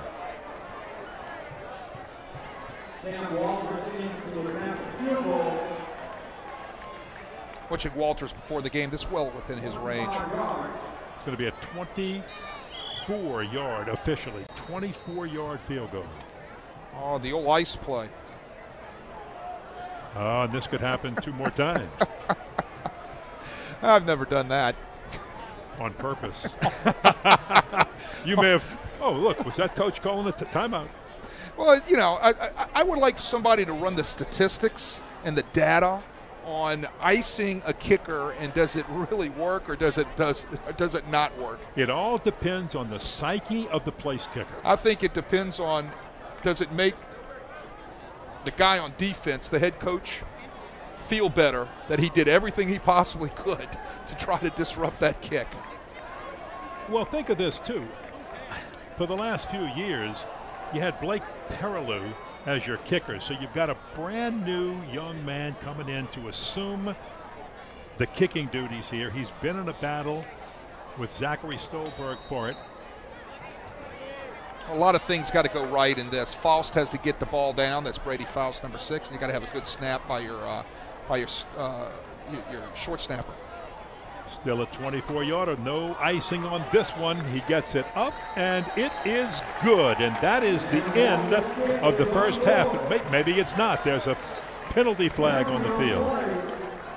Roughing the kicker. And they're going to have a choice here. If it is roughing the kicker, will they want to take it on a uh, kickoff, or do they want to uh, move the ball closer and um, go for the touchdown? And you go for the touchdown. I, I think, think, you take it on the kickoff, and you what, get great field position to start the second half. Because remember, the Crusaders get the ball; they're receiving to start the second half. Eddie Alabor.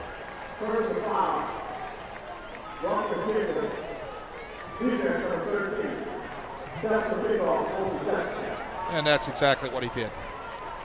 28 24. What an exciting first half here at Tad Gormley, City Park Stadium, New Orleans. Karr leading Brother Martin. First half ends on a field goal by the Crusaders.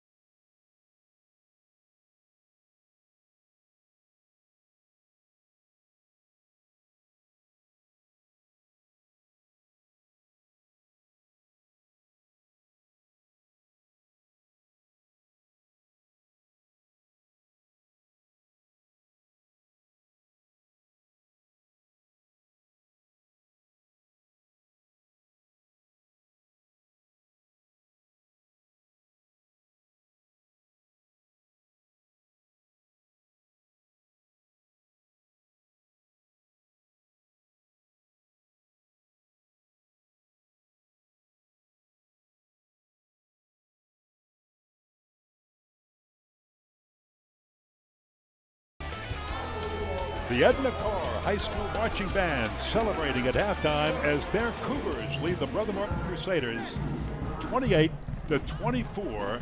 What an exciting first half this has been. Ken Berthelot, along with Wade Kaiser, our entire WHNO TV crew, Les down on the field, and it has been the explosive first half that we thought it might be. Wade Kaiser, we expected nothing less. Well, eh, like last year, back and forth, back and forth. 52 points already scored in the first half. It's back and forth, back and forth. My neck hurts. I mean, Like it's up and down, up and just- down. You know, they've got to find some answers. And I tell you what, this is a great, exciting show. But if you like defense, this isn't the game. Bruce Jordan Swilling. Impossible to stop, and he's one of the reasons that the Crusaders have 24 on the board right now.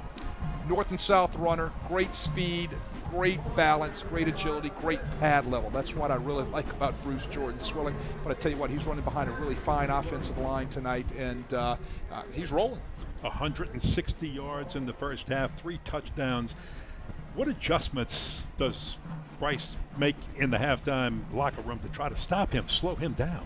Well, I think first thing they've got to do, they're going to have to do something about controlling the offensive line, defensive line of scrimmage with their up front four guys. That they're not doing that. They've jumped off sides four times tonight, getting drawn off sides and setting up uh, first in fives and uh, third and shorts and things of that nature. So they're going to have to make some changes up front on the defensive line, move people around, do some slanting, something like that, in order to get some penetration to stop him in the backfield. As hard as it's been to stop the Brother Martin Crusaders, it's been just as difficult for the Crusaders to stop this high powered offense of the Karr Cougars. So if you're Mark Bonis, what do you do? What, what adjustments do you make to stop this Alden Clark and, and his uh, explosive uh, uh, pocket of weapons? He's got weapons. That's the key. And he spreads them all over the field. I mean, uh, they're, going to spread in empty formations. They're going to be in three by one, two by two, and that puts pressure on the Brother Martin defense just simply from the standpoint that if we're a three man front, I'm going to have to bring linebackers to get some pressure on the quarterback when he throws the football. So, what do I have to do? I'm going to have to match up outside with these wide receivers. So, when I do match up with those guys outside the wide receivers, I've got the advantage because I'm a lot faster and I can get past you and they can throw the ball deep. The other thing is, when there's five in the box for Brother Martin, they're going to run the football. And Santee Marshall is running the ball well tonight, and that offensive line from Karr is doing a good job when they have the numbers inside to run the football. Aren't you glad you're not a defensive coordinator in this game for either team, Brother Martin or Karr? It's going to be a fun second half. We'll be back with more of our halftime as we watch the Karr band on the field at Tad Gormley. Back with more halftime in a moment.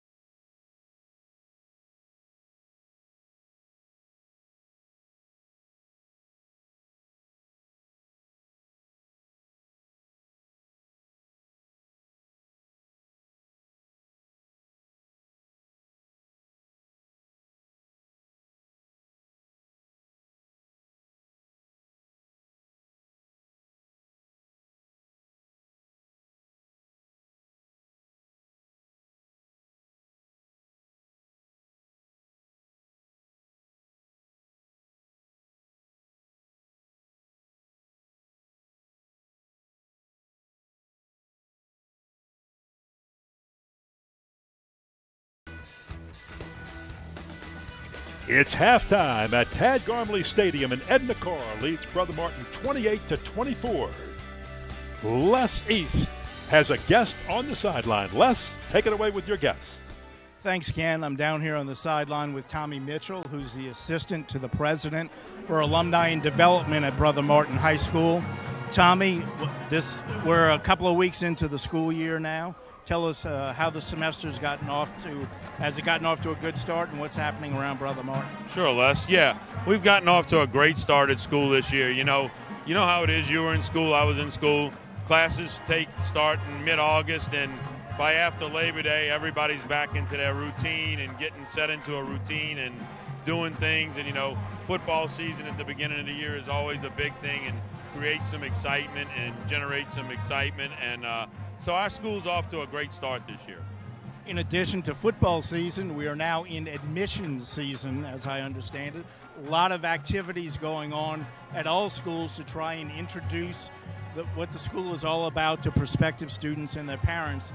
Tell us the activities y'all have planned at Brother Martin. Yes, we have several things that to allow prospective students and their families to come see what we're about at Brother Martin. You know, we, we have a couple of information nights scheduled where parents and students can come to school and hear a presentation and ask questions um, on several, starting next Monday, on most Mondays and Fridays between now and open house. We have school day tours, which is about a three hour period during the day where a student can come and spend the day at school and you know see what an actual school day at Brother Martin's about.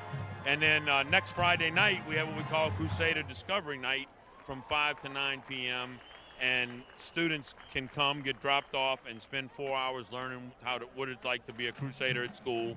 And then finally, it caps off with our open house on uh, Thursday, November 10th, from 5 to 9. And so, any of these activities, any students interested in coming to find out about school, they can simply just contact our admissions office and our admissions director, Carlos Bogrand, and schedule a time to come find out what we have going on. Wow, that's almost a semester long process of introducing the school to the uh, prospective students.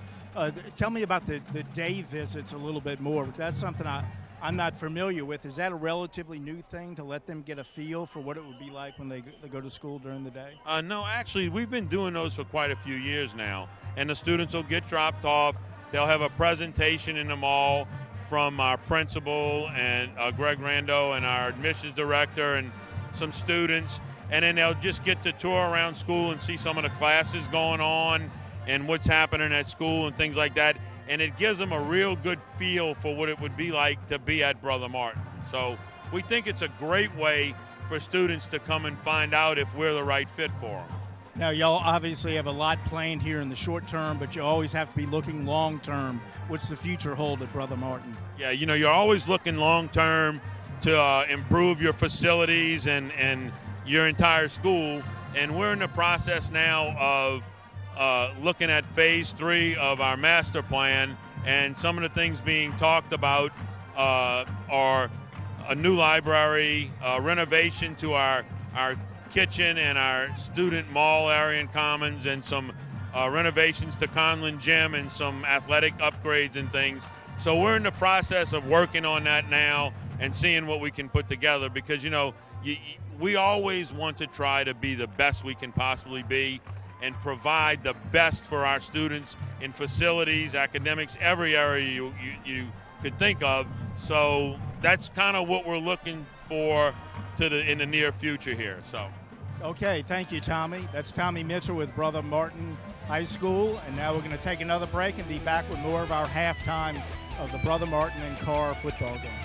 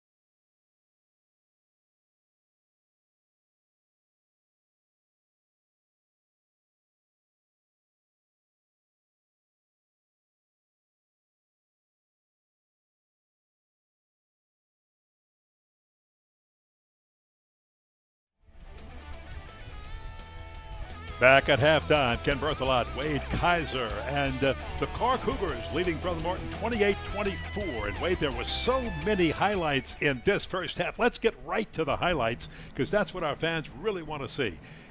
Loaded with them.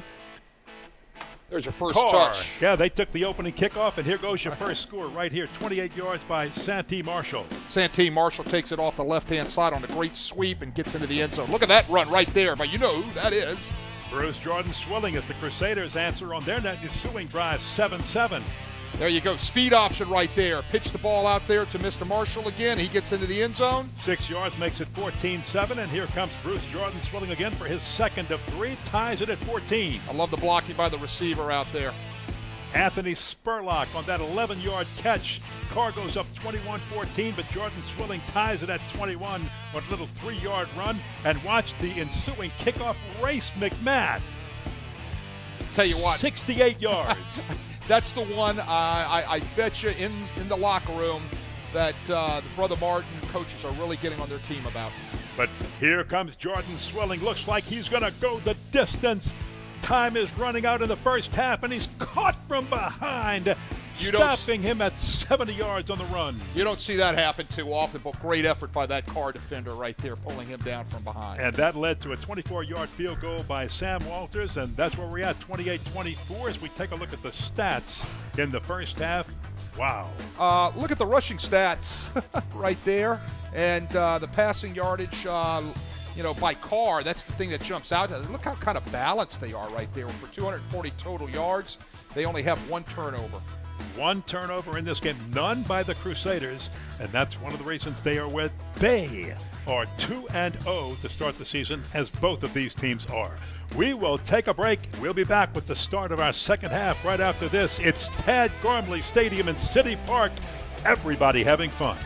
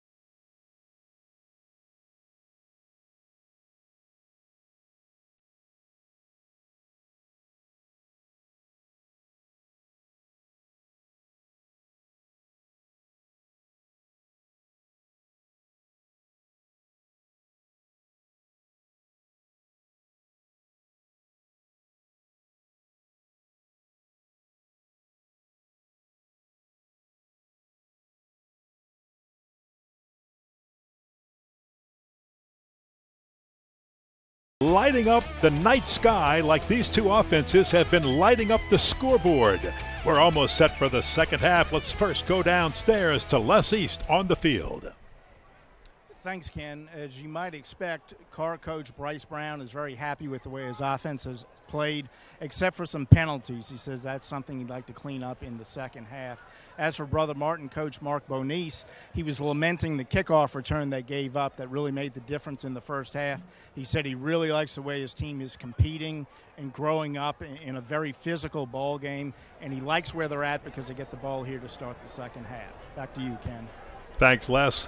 Wade Kaiser, that's exactly what you said when we showed the shot of the huddle. You said Mark Bonis is so upset because they gave up that kickoff return for a touchdown. And uh, it's not going to hurt that much. I say that because the roughing the kicker penalty on the Brother Martin field goal on the last play of the first half is going to be accepted here for the start of the second half. So the Crusaders are going to have excellent field position because Karr will have to kick off from their own 25 yard line. I mean, this is the thing. You're, you're, you're fighting your, your, uh, yourself off offensively and defensively to keep pace with such a good team as in Karr. You can't give up things on kickoffs. You just can't do that. He knows that, and that's why he was so frustrated. Been there, done that. Oh, yes, and, and you nailed that one. I mean, just nailed it. I mean, I could see it in his face. I know exactly how he feels. Akili Durinslat will tee it up, and if he ever needed to get some leg into a kick, this would be the time because you've got to back up this powerful offense of the Crusaders. Karr leading it, though, 28 24 as we start the second half. Ken Berthelot, Wade Kaiser, Les East, the entire WHNO TV crew. Pictures have been so fabulous in this game. Here we go. This one's coming down to Chris Smith. And Smith will return past the 45 up to about the 46 yard line. Great field position as we thought for the Crusaders to start this second half. Well, you know, right there at the, uh, you know, the 46 yard line, that is a great spot for them to take the ball over, and they're going to have to get back on schedule now. Uh, you're going to see a huge dose, I'm sure, of. Uh, number Mr. nine. Swilling, number nine. there he is. He had first half numbers that uh, again, are out of this world. 17 rushes, 163 yards, three touchdowns. A Georgia Tech commit, and he could be one of the young men that plays two ways when he gets there. Here's your first offensive play of the second half. Karr showing some blitz, trying to stuff the line. Jordan Swilling finds a little bit of room on the right side before Karr can bring him down. Host the players there. Tackles led by Austin Kent. Right there, I saw an adjustment that Karr made in the second half, or at halftime, should I say, for the second half, is they brought extra defenders into the box. They, they're they're going to elect to play man-on-man coverage out there with one free safety deep and try to get uh, eight uh, or nine people in the box that's their commitment that they're going to make to stop number nine. Got a good shot at number 10 just a moment ago. Darnell Bridges for a Karr. He's usually around the football. Helped on that last tackle and helps on this one is, again, they're trying to stuff Jordan Swilling as Brother Martin is trying to establish him here early in this second half. Well, what Martin's 3rd gonna, down eight. Right. What Martin's going to have to do now is they're going to have to see how they're putting eight and nine in the box of those gold helmets, and they're going to have to be able to throw the ball a little bit out on the flank and loosen them up by formation to try to get some of those guys outside of the box. It's tough to run against nine people. There's a couple of people there that just aren't blocked. At their own 49 yard line, here's your third down, eight play, and John Paul Pierce with a man wide open over the middle, and that's caught by the tight end Joseph Parente to move the chains for a first down before finally being stopped by Quindell Johnson, a gain of 18. Great call by Mike LeBlanc. He recognizes eight and nine in the box by the Karr Cougars. What does he do? Realizes that they are in man coverage. They run the uh, little zone pass, quick hit to number 31, uh, Parente, for a nice gain. On first down, they'll try to open it up again with Jordan Swilling, but again, the Cougars stack the box and stop him for no gain. Well, I'll tell you what, they have committed to stopping Swilling by putting more people in the box. I've said it uh, for the past couple of uh, reps that they've run right there. And a great shot by number 98, Damon Harris, who was big coming up on that tackle right there on Swilling. Big Damon Harris. And six help foot from Sh- set on buys. You'll always have help try to bring down Swilling because he's so hard to bring down one on one. See a good look right there. You know they've got eight people stacked up inside in the box. So what are you going to have to do? Somehow you're going to have to loosen that up by formation or by throwing the ball or a combination of both. John Paul Pierce has done that very well after the fake to Jordan Swilling. He will throw to the outside, and that is caught by Brady Faust, his first catch tonight run out of bounds after picking up the first down by Quindell Johnson. That'll move the chains again for the Crusaders. He's an outstanding athlete. He plays baseball too for the Crusaders. But the thing I'm going to have to talk to him about is he comes over to the sideline, catch the ball and get vertical. You're not going to put a move on anybody, buddy. Catch it and get vertical, and let's get those yards. Yeah, well, he got 19, and you're right. If he gets vertical, maybe more than 19. Huh? Please stop all of that and just get vertical. All right. I love it. I love it. I love it. 15 yard line, first down and 10. They go to the big man again. Bruce Jordan Swilling over the right side, and he'll push down for a few more. This is just a good, long, sustained drive by the Crusaders, and I'm impressed that their offense is taking what the Karr defense is giving them on this drive. Or they have to. They, they, like I said, they've got to be able to play the numbers game, and they're going to have to out formation, try to pull people out of the box to get Swilling a little bit more room, as well as throw the ball out on the perimeter some.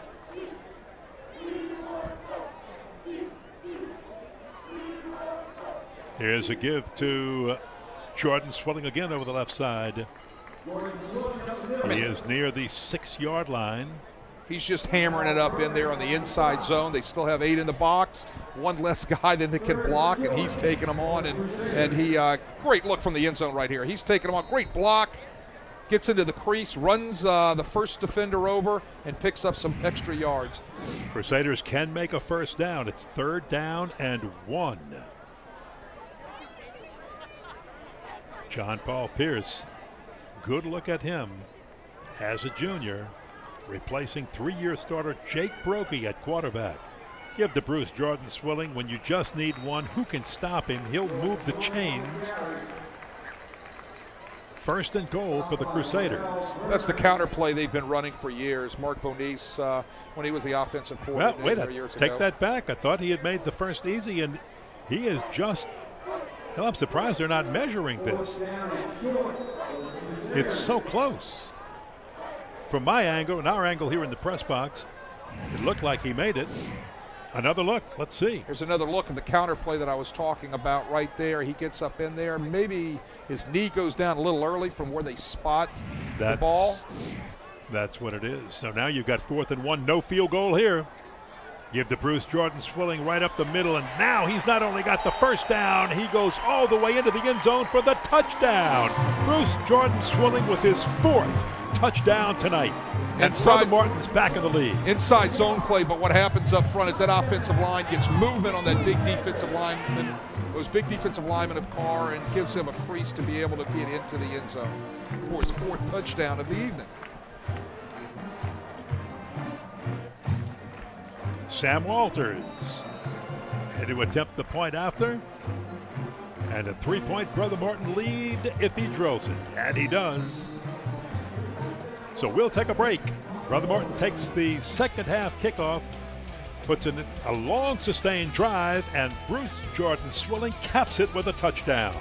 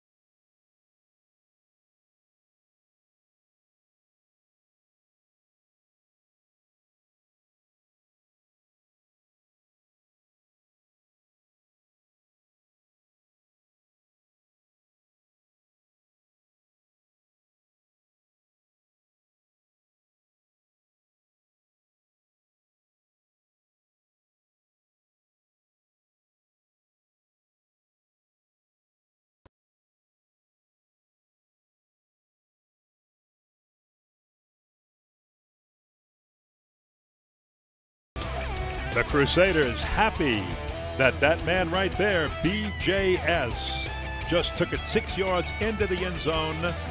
capping off the end of uh, the first drive of the second half of this football game, and the Crusaders are back in the lead by a field goal, 31 to 28, by three. He's catching what? his breath right there, literally. Four touchdowns, probably approaching 200 yards on the night. We've just started the second half. Kickoff will be short, go out of bounds. And now we'll just wait to see whether we're placing or kicking over. Our referee is Eddie Alamore. My bet is Karr's taking the ball on the 35 yard line.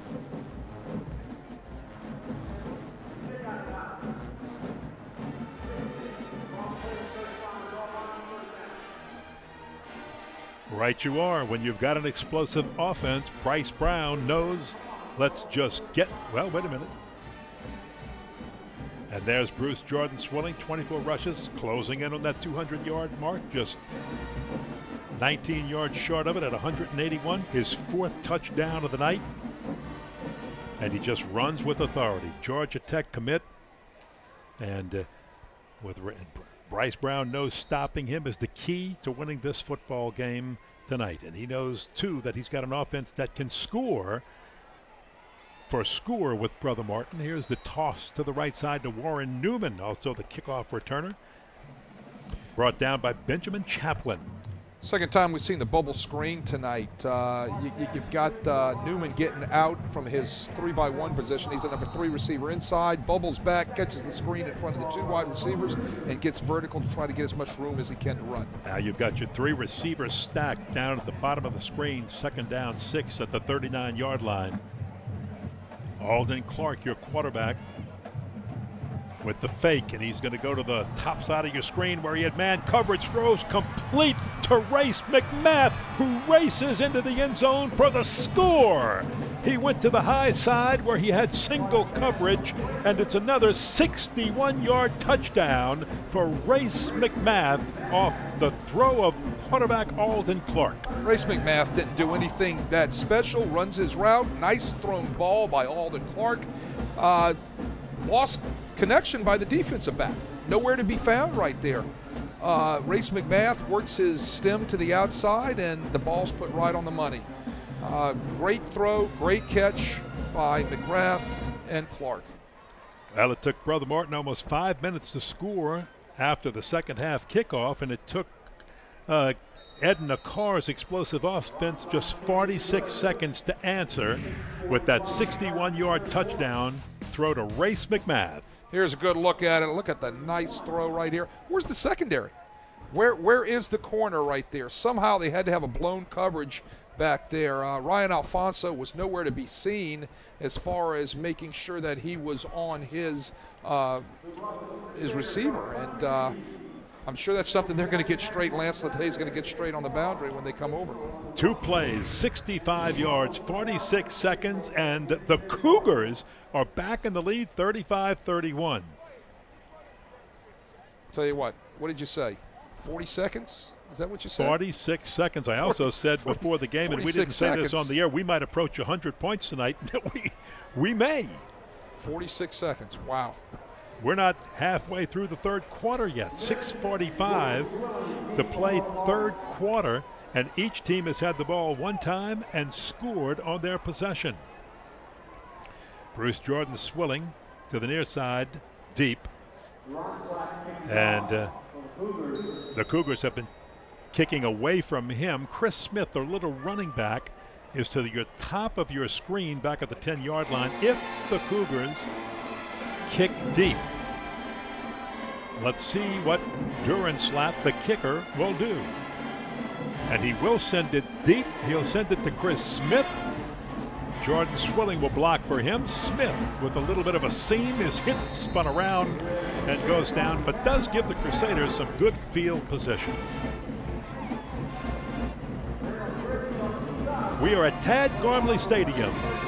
Ken Berthelot, Wade Kaiser, Les East on the field. Our entire WHNO TV crew, 6.39 to play here in the third quarter. An exciting, explosive football game between two offenses that can't be stopped. The Brother Martin Crusaders and the Edna Karr Cougars, who now lead 35-31 and have just kicked back off to the Crusaders of Brother Martin, and they've got that big gun in the backfield behind quarterback John Paul Pierce. He wears number nine. It's Bruce Jordan Swilling.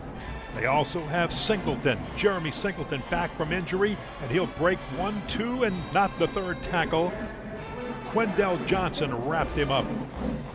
Nice wide receiver screen out there to Singleton. Nice blocking on the edge by Eric Lasser. I talked in the pregame show about uh, how good Lasser is, not just catching the ball with his hands, but also with his blocking. He did a nice job right there. You got Singleton getting up with his limp on his knee right there. I hope everything's going to be okay. Well, Singleton had injured the knee earlier this year, was, as you say, cleared to play on Wednesday. So we'll take a break. They're going to take a hydration break right now. We'll take one with them and talk about Jeremy Singleton when we come back. 6.07 to play third quarter, 35 31 here at Tad Gormley.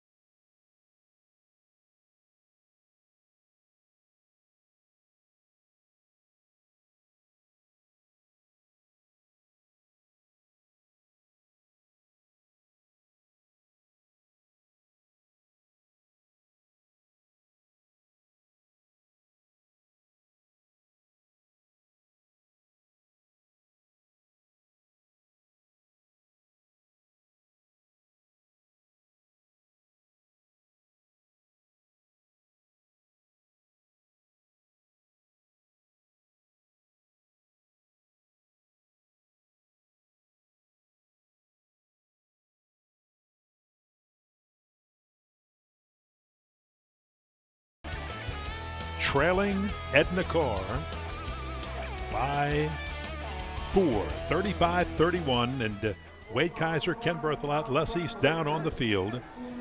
That's Jeremy Singleton, who, as we had stated earlier, had a knee injury, was cleared to play on Wednesday, but this is a cramp. He is just cramped up and they're trying to stretch it. And that's good news because we don't want to see any player get re injured in a high school game.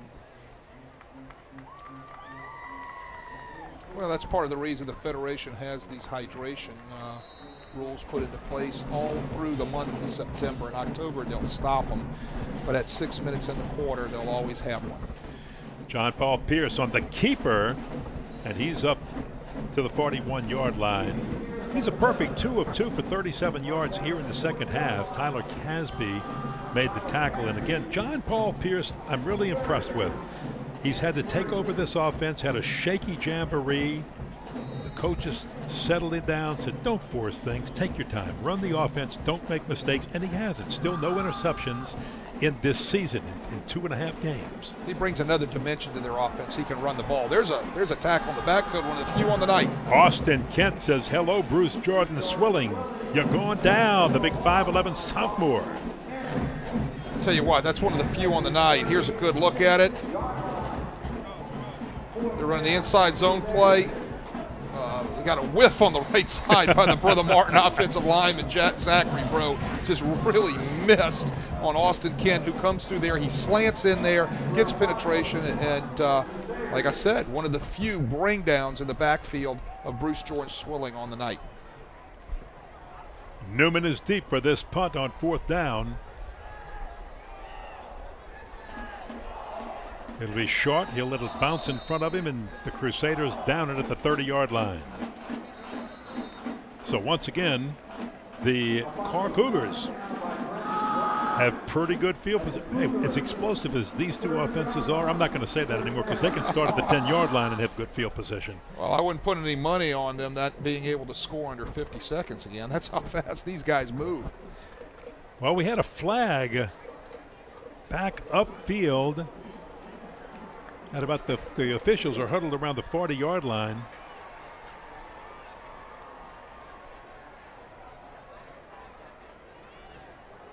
And um, I'm not, well, let's just wait for Eddie Allamore. Here he is, our referee. Set, Five penalty. All right, there was a illegal ship. Nobody was set on the uh, the line of scrimmage for Brother Martin. So what's going to take place is Karr's elected to back him up uh, five yards and kick the ball again. They, the, the Cougars would like to get the ball in the hands of their punt returner, Warren Newman. Only the second penalty tonight on the Crusaders.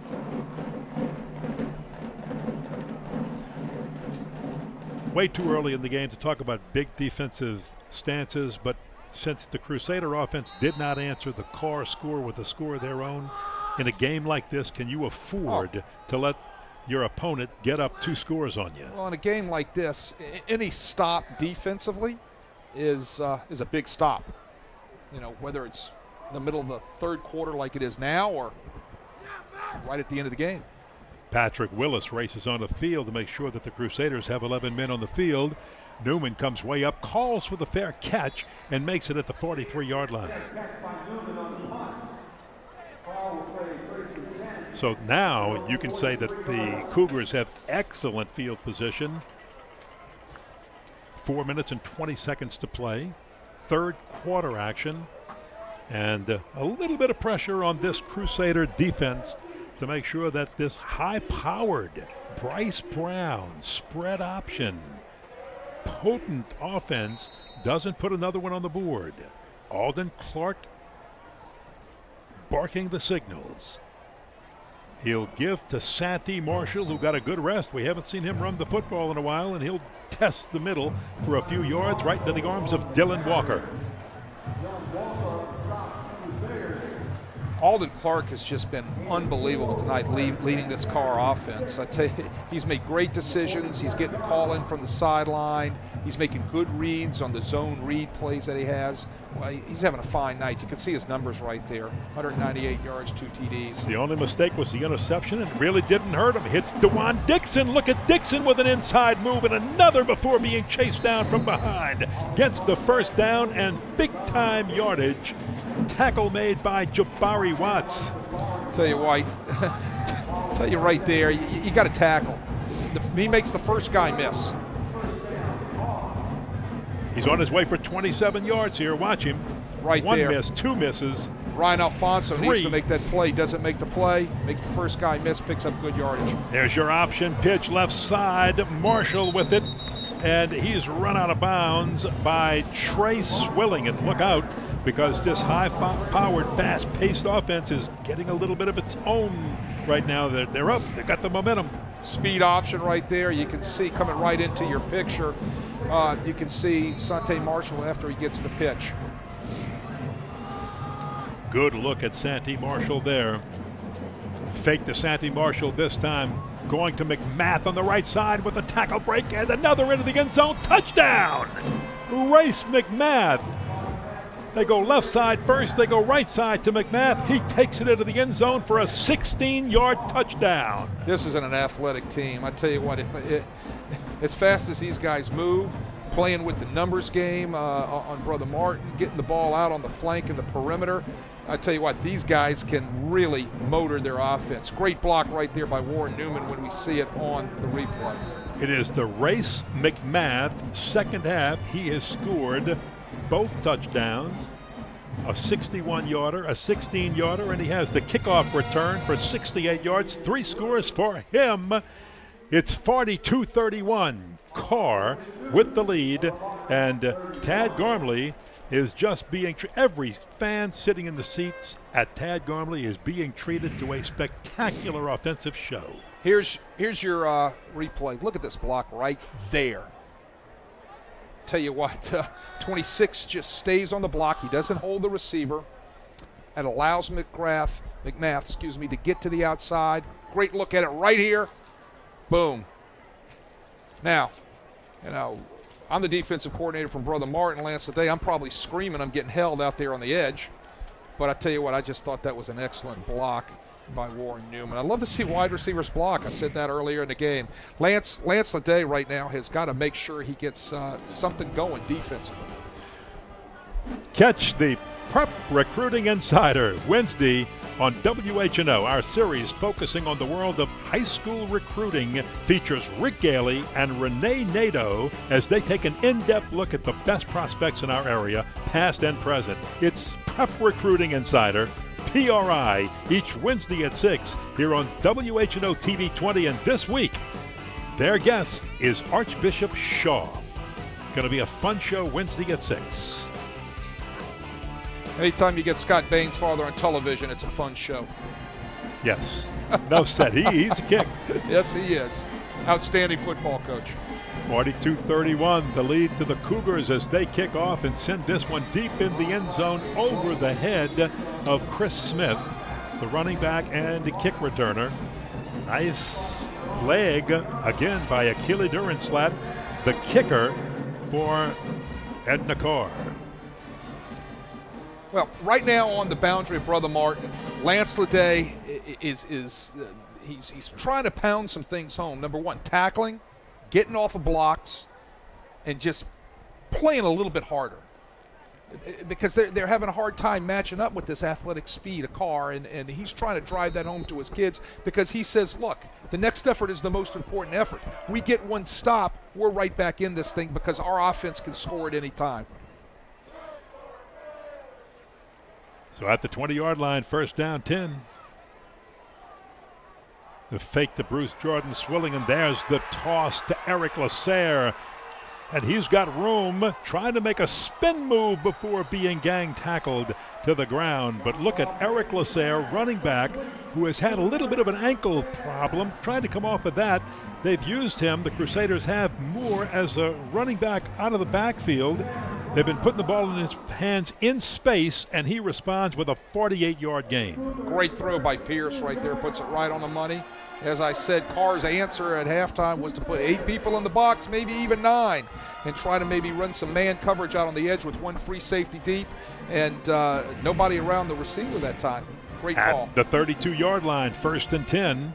Again, the fake to Swilling. John Paul Pierce keeps it for a few on the left side. He pulls the ball and hammers it up inside. Not much place to go, but what he's doing is he's keeping those Karr defenders honest. And as you said earlier, he brings a nice dimension yes, he does. to the quarterback slot that Jake Brogan right. could run the last three Correct. years, but he didn't have the running ability that John Paul Pierce has. What he gives Coach LeBlanc, it gives him some flexibility here, and, and that's good. You need that in your offense. He's a weapon. Speaking about John Paul Pierce, that is. Second down, 10. This time, Bruce Jordan Swilling will test the middle, and he just pushes a rugby scrum down inside the 30 yard line to the 29. Gang tackle there.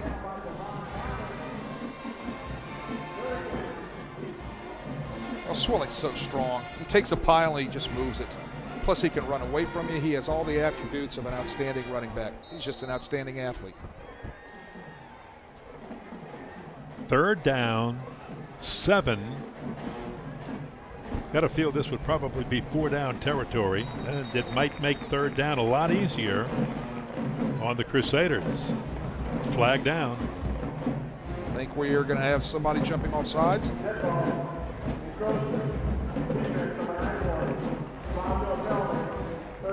Fifth time tonight.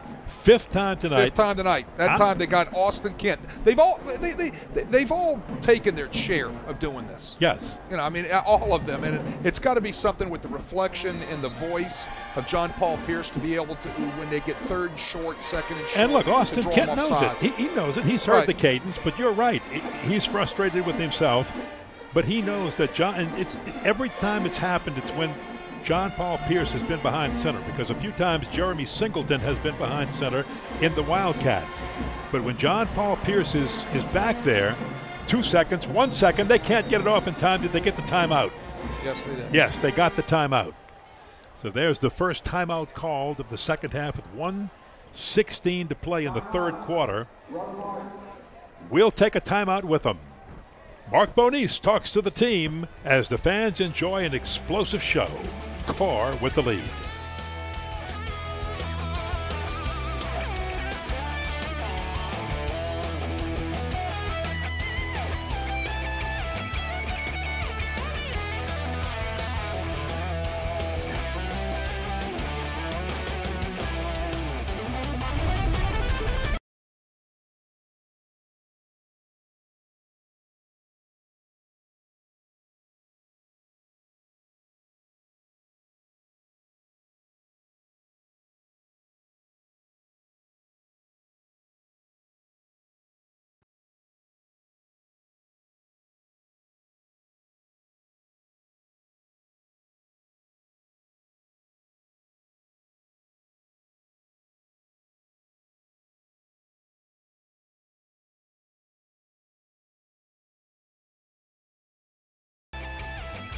Ken Berthelot, Wade Kaiser, Les East on the field, and uh, I, I, I, wow. Ken, I, I hope there? that timeout doesn't come back to hurt Brother Martin somewhere. You got to have your call in as you're coming out of uh, a penalty, and um, good look right there at Singleton. Hope he's okay, but uh, I hope that timeout doesn't come back to bite Brother Martin somewhere in uh, the fourth quarter.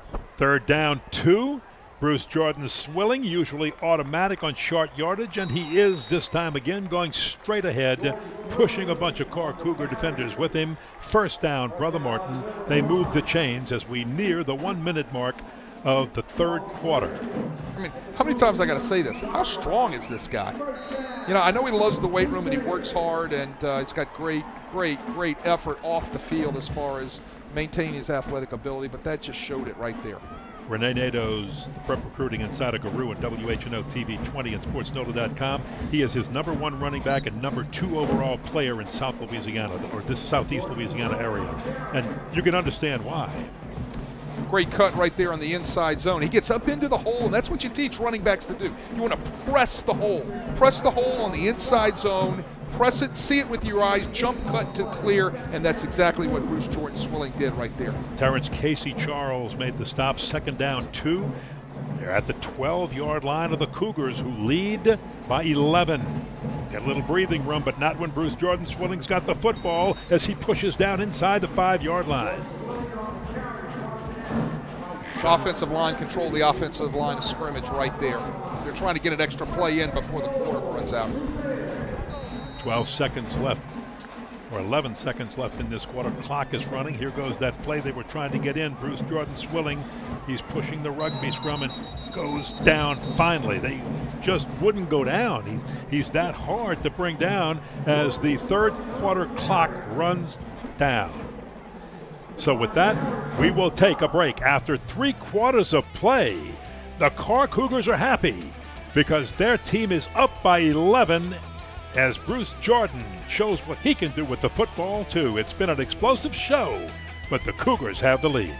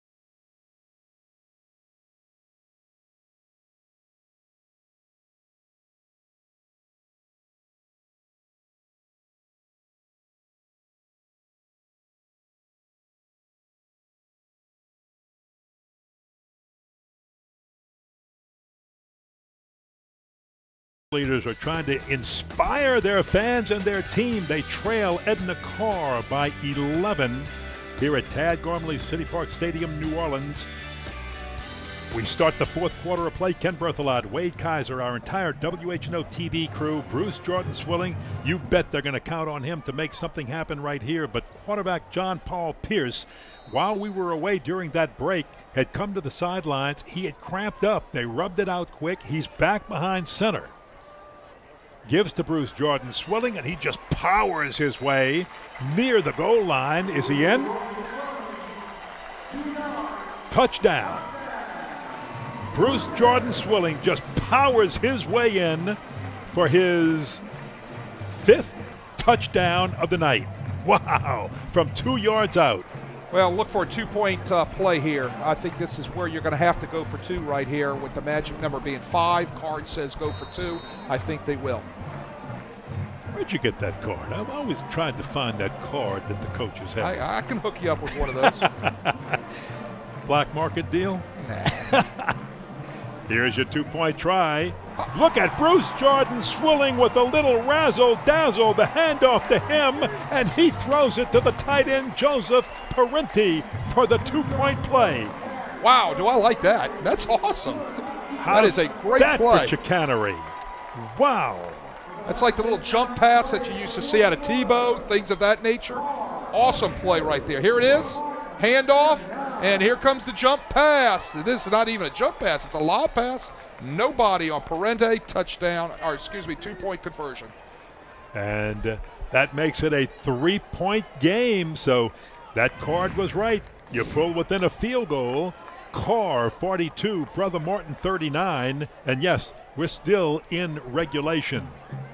this is not overtime when you see this kind of score, but that young man right there, five touchdowns tonight. And a two point conversion for a pass. Good look at the touchdown right here. Outside stretch. Power. Powers it in. Ball breaks that uh, plane of the goal line in for his fifth touchdown. Goodness gracious. We score him, well, we saw him rather score seven last year against St. Stanislaus, and that was the first half. They pulled him out. Oh, Georgia Tech's got to be excited. He and uh, brother Trey Swilling both committed to Georgia Tech because dad played there. He was an All American, Pat Swilling All American, Georgia Tech Yellow Jackets. It's a commitment, but he hasn't signed yet. You got a feeling that some people are going to try to recruit him away. Oh, I'm sure that's going to take place. They're going to try. It'll be remain to be seen if it happens. Kicked out of bounds away from Newman. So we'll see now whether Mark Bonis would like uh, would like to have them kick it again. Brice Brown, rather. Wow, man. I-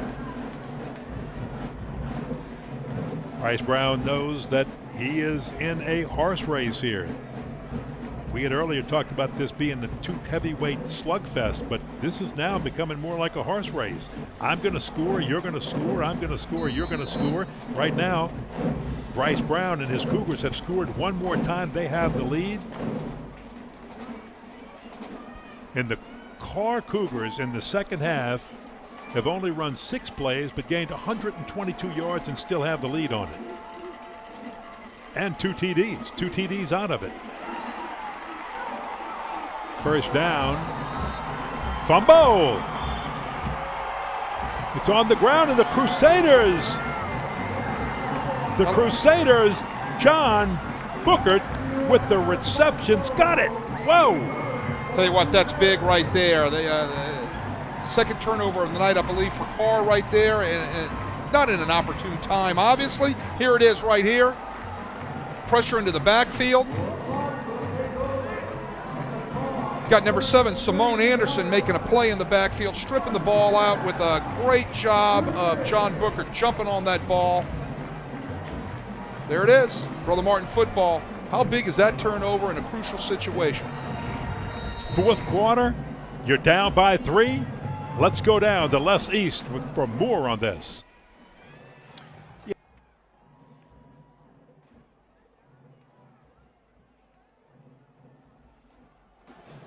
When they brother Martin came to the sideline after that last card touchdown, number 42, the junior safety Benjamin Chaplin, stood up in the huddle, and before any of the coaches could talk, he was very animated in trying to light a fire under his teammates, trying to get them to make a big play. And the first play that they're back on the field, of course, they made a big play. Back to you, Ken.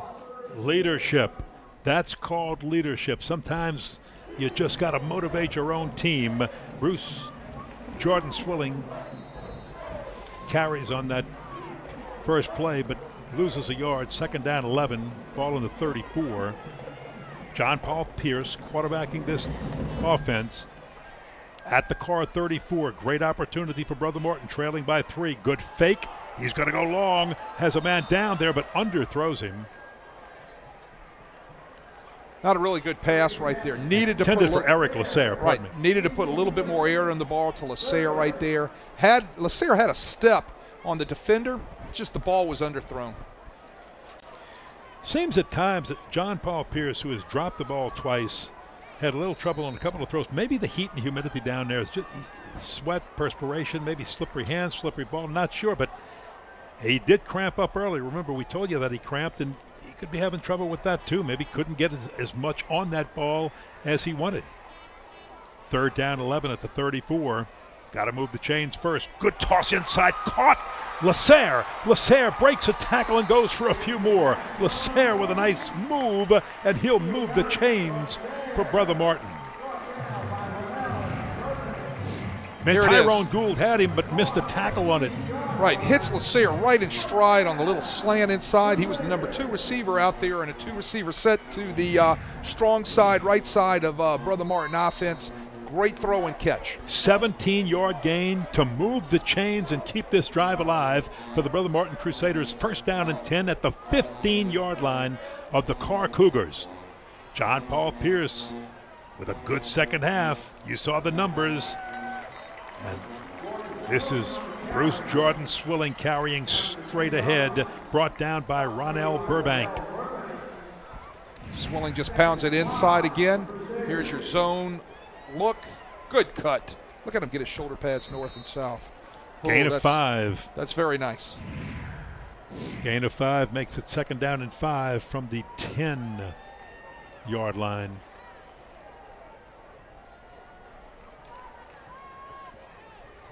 Crusaders taking their time, making sure they've got everything in check. John Paul Pierce, he'll give the Bruce Jordan Swilling stacked up at the line. Nowhere this time. Cougars were waiting for him, and again, they're stacking that box, as you talked about earlier, more in the second half to try to stop Bruce Jordan Swilling. Well, as I said, that was the big uh, change in the game plan of Karr coming out in the second half was to get eight and nine people in the box and play man coverage out on those wide receivers. Another So- third down now for the Crusaders. Third down five. They're at the 10 yard line of Karr. Karr was inching up. Maybe showing. What's the chance that the Crusaders might use their little trick play with Bruce Jordan Swilling again here? Nope, he won't. He'll carry, and he does not get down to the five yard line, so he is short of the first down, and that brings up a decision. Fourth down, and about three at the eight yard line. They check with me on the sideline to check the numbers from upstairs in the box with Mike LeBlanc. They decide to stay with the outside run zone game. The numbers weren't with them right there. Still had man coverage out on the outside on the uh, number one and the number two receiver at, that were down at the bottom of your screen. Uh, they're going to talk it over. I believe Brother Martin just took their second time out. Well, let's stay here and talk about this because with 9.02 to play in this game, Brother Martin, with the field goal, could tie it up at 42. You go for it here and you don't get the first down or the touchdown. You've turned or given the momentum back to Edna Karr. Well, you're asking me what I would do, right? What would you do? I'd kick the three right here. I'd make sure I get my points. I'd have to get the points.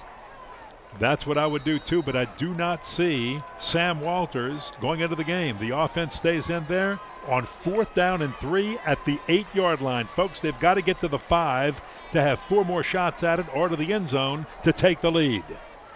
John Paul Pierce.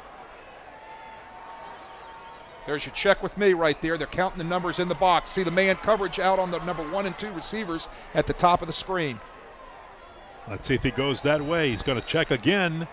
And the clock ran down. The play clock ran down. Did they call timeout in time? You can see John Paul Pierce limping a little bit. That's the cramps. He's been cramping up and having trouble there tonight with this heat and humidity. We'll take a break with the Crusaders and the Cougars. Back right after this to see if Brother Martin picks up the first down.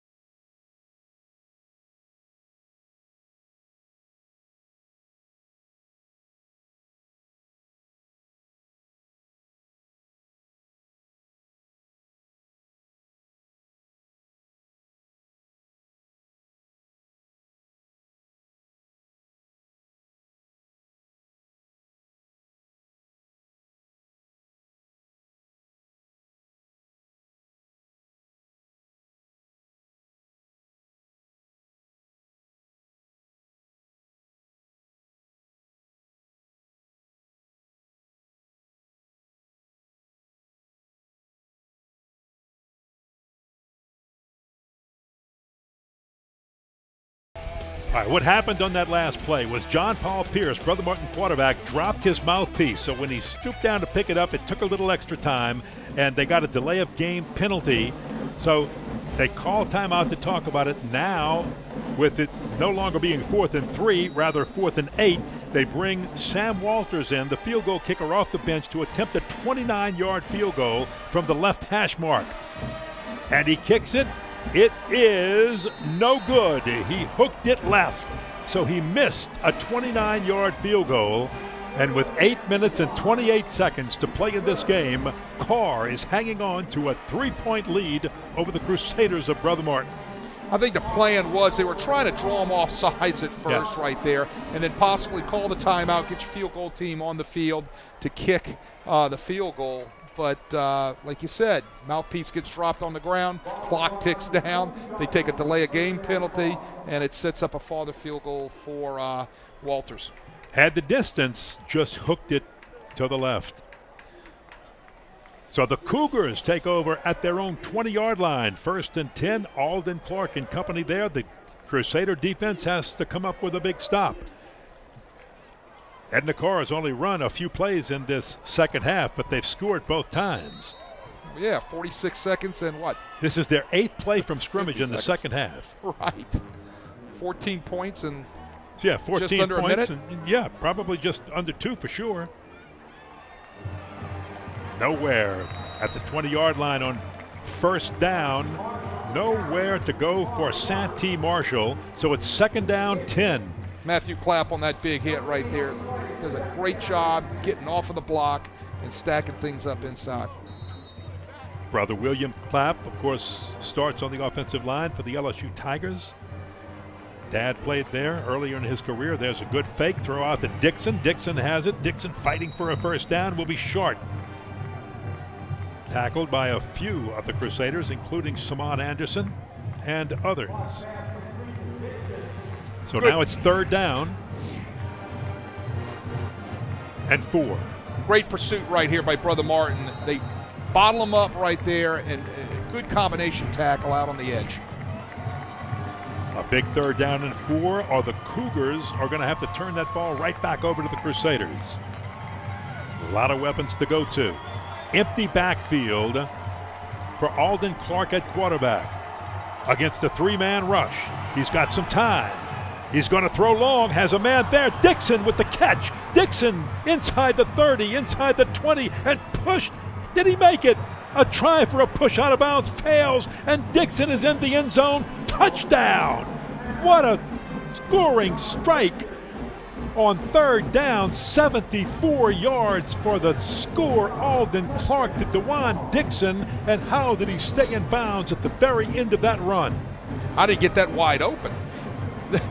That's that's my question right there. All right, great effort, no doubt about that. Dewan Dixon catches the ball, goes 78 yards, I believe you said. 74. 74 yards right there. Great effort to get into the end zone.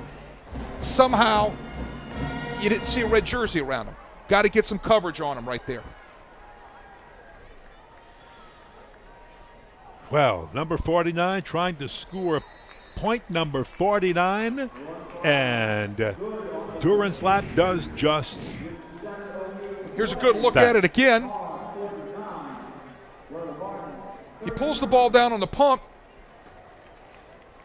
Whoever is supposed to be on the hip of the receiver right there is not there. That had to be a bust in the secondary. Look at the great effort he does to get in the end zone. He sticks the ball out, gets it past the pylon, and breaks the uh, plane to score. Saturday on SportsNola.com. It's Nicholls football presented by the Sports Medicine Center of Thibodaux Regional as the Colonels open Southland Conference play against Incarnate Word University. Wade and I will have the call. It's the Colonels and the Cardinals live Saturday at 3 on SportsNola.com. A lot of interest in those Colonels after going up there and throwing a major scare into the University of Georgia, losing by only 2 26 24. Two years ago, Timmy Rebowe takes over the job at Nicholls State University. Known T- Timmy Rebowe for over uh, 30 years. I tell you what, he is an outstanding football coach and the right person to get things turned around down in Thibodaux, and he's definitely got that on the way.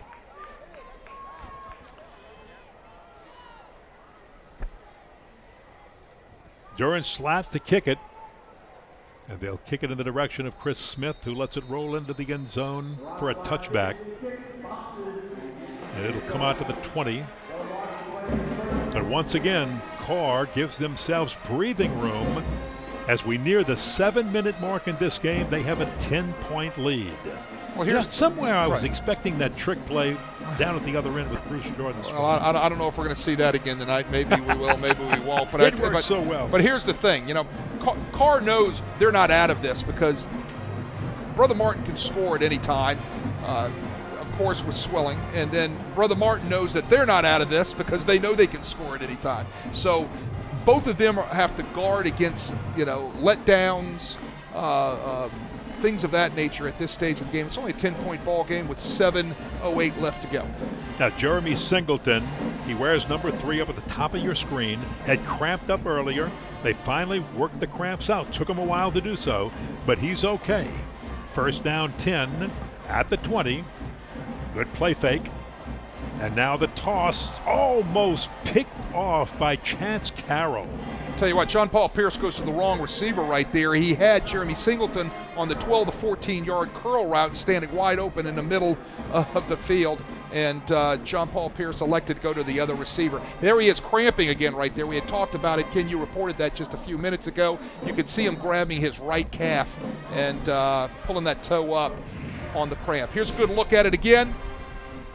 Wrong receiver. You can see right there on the bottom of your screen as the camera panned past, you had uh, Jeremy Single wide open on the 14 back to 12 yard curl. In the second half of this game, we were talking about what Karr had done with the football. They've had four possessions, 10 plays, 200 yards, three touchdowns, and their time of possession in the second half, three minutes and 13 seconds so far. There's 7.02 to play, and they lead by 10. The Cougars do. They'll get him to the boundary. They're going to have to press some fluids in him real fast. Question is, what are they going to do? Are they going to bring a quarterback as an, in the backup quarterback? Well, the backup, gonna... the backup quarterback is Joshua Payne Morgan, and right. he suffered a hamstring injury this week, so he's not eligible tonight. Really? I didn't know that. So you can you, you can run you can run Singleton of the Wildcat there as you long go. as he doesn't cramp th- up again. I, th- I, think that's what we're going to have to see. We'll probably see uh, Jeremy Singleton come in as the Wildcat quarterback, and uh, I just don't know how much of a throwing threat Jeremy Singleton is.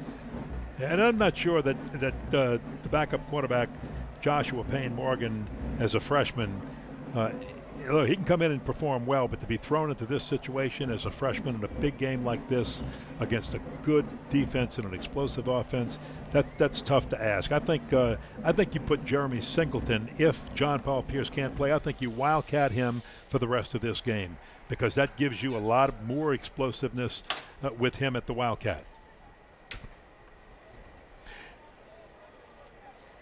If you're interested in purchasing a DVD copy of today's game, send an email to prep, P-R-E-P, at sportsnola.com or call our offices at 504-681-0120 during normal business hours. You will receive a reply with more information on purchasing DVDs. Well, I know who's going to buy a few DVDs from this game. Uh, Race McMath, family. How about the Swillings? The Swillings will.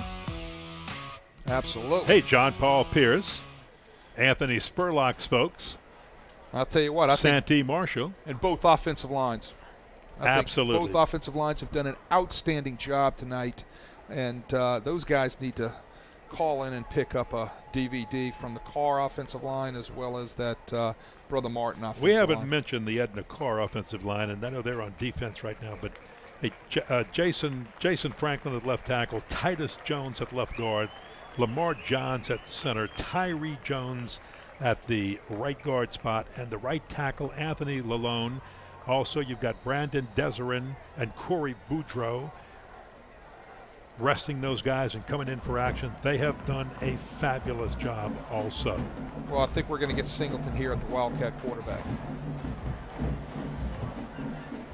That's who we'll get. Singleton coming in at the Wildcat quarterback slot look for Karr definitely stacking the box with eight, nine people and playing man coverage with maybe a free safety on top. I think they'll dare him to throw.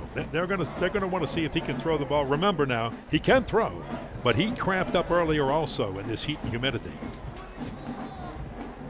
So this will be interesting to see what happens. Second down, 10 coming up for the Crusaders. They're at their own 20 yard line after the kickoff. They trail by 10, 49 39. And the starting quarterback is down with cramps. Out of the Wildcats, Singleton tries to run after the fake handoff to Bruce Jordan Swilling and fights his way maybe back to the line of scrimmage. Tyler Casby with the tackle down low. Too many people in the box. It's just hard to run. You've got five blocking and you've got eight people in the box. Somebody is coming untouched, and that's exactly what happened. It's a numbers game, had nowhere to go.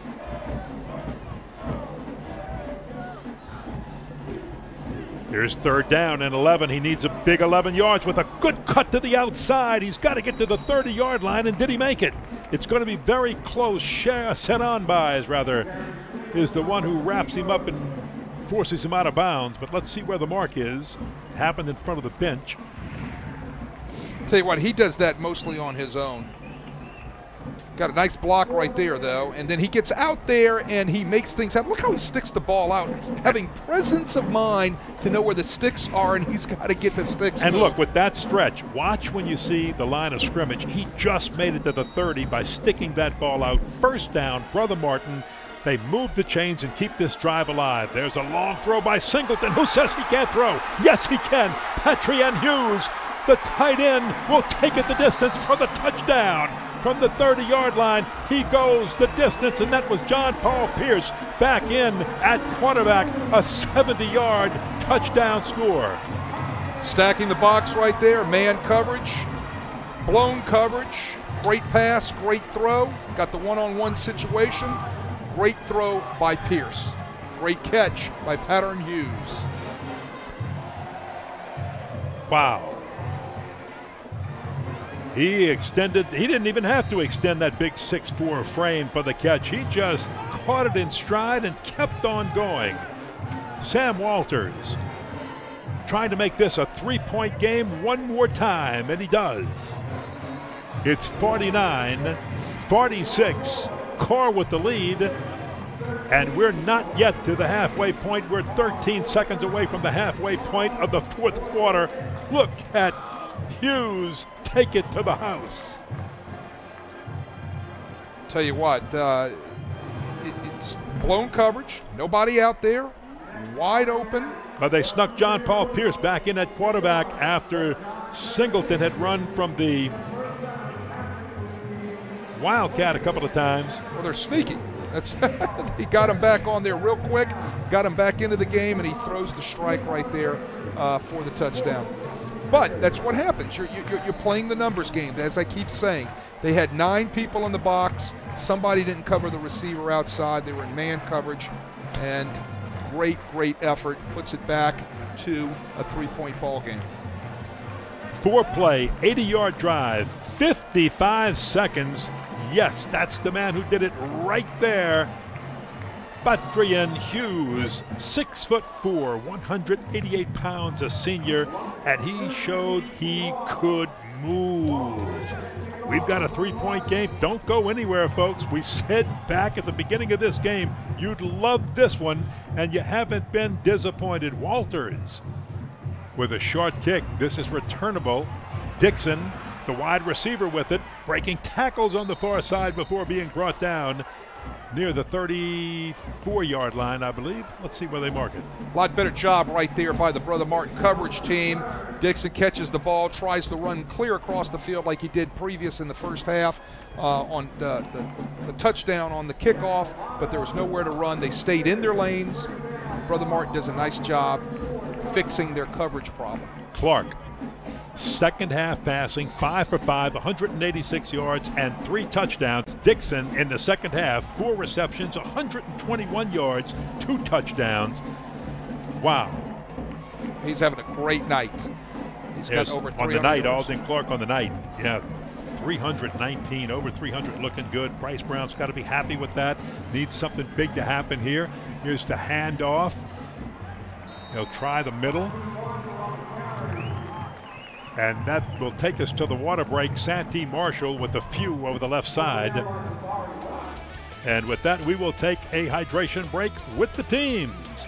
5.55 to play. We've got a thriller, Karr by three.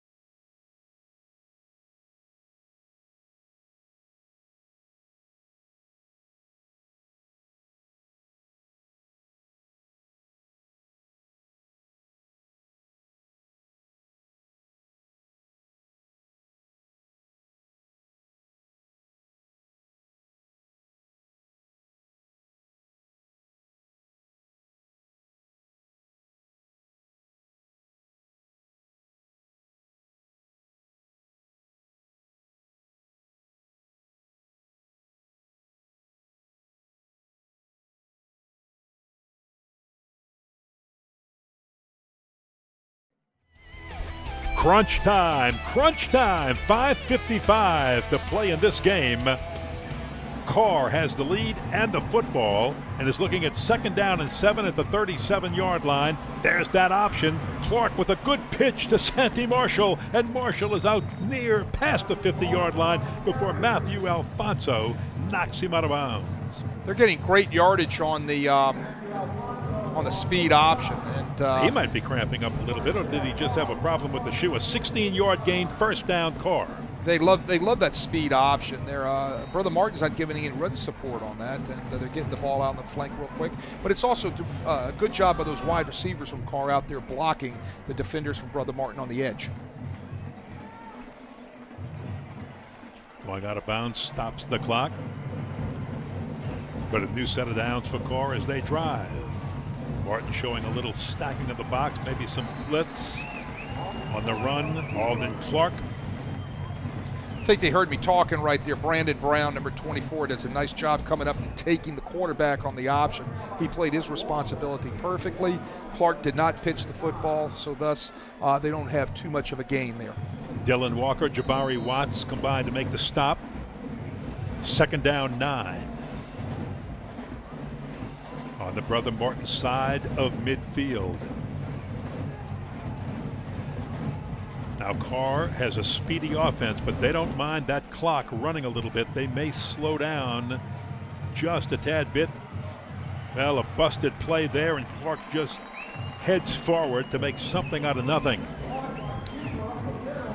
Even with a three point lead, they can't afford busted plays right there, stacking up the inside right there.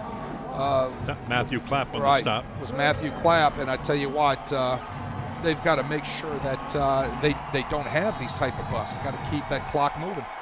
900 total yards of offense between these two teams tonight, and we have four and a half minutes left to play. And I'm cramping up up here because of that. Your neck's cramping. Looking left, looking right. The Crusaders on third and eight. They want to stop. Their fans do. Alden Clark will tuck it under. He'll run, gets a block, and he's inside the 35 yard line. And this, I think, is enough to move the chains. It is. That'll be another first down, and credit Alden Clark. When the Cougars have needed a big play, he comes through. Does a nice job pulling it down. But look at this block by number 26, Newman. Yeah, right out of your picture right there. This guy's had a great night, Warren Newman. That was a great hit right there. Great physical football. I like that. Look, you can see him breathing hard. That's the heat, that's the humidity, but nobody giving an inch. First and 10 at the 34 yard line of the Crusaders, right up the middle. There's the hole. Santee Cooper, and he has a big run, moves the chains again. Benjamin Chaplin finally stops him. The right guard, Titus Jones, does a great job picking up the blitz right here. Hopefully, we can see it. Ah, didn't get to see it. It opens up a huge hole for Santee Marshall to be able to burst through on the inside zone play right there. But Titus Jones picks up the blitzing linebacker, just washes him down inside, creates a huge running lane for Santee Marshall. Crusader defense tried to strip that ball, but Santee Marshall did a fine job of holding on to it. Another first down, first and 10 at the 14 yard line of Brother Martin. The Cougars knocking on the door. They lead by three, trying to add to it. There's the swing pass to Marshall. Uh, check that. That was Kalfani Simmons on the catch. That's his second catch of the night. Alfonso with the stop. You see Karr getting back into a little bit more rhythm. Little hitting it on the inside with the inside zone, throwing it outside to the bubble screen right here, as you can see again on your uh, monitors and uh, televisions at home. They're back into their offensive rhythm right here, and they're burning a little bit of clock, which is what they need to do. Second down. About two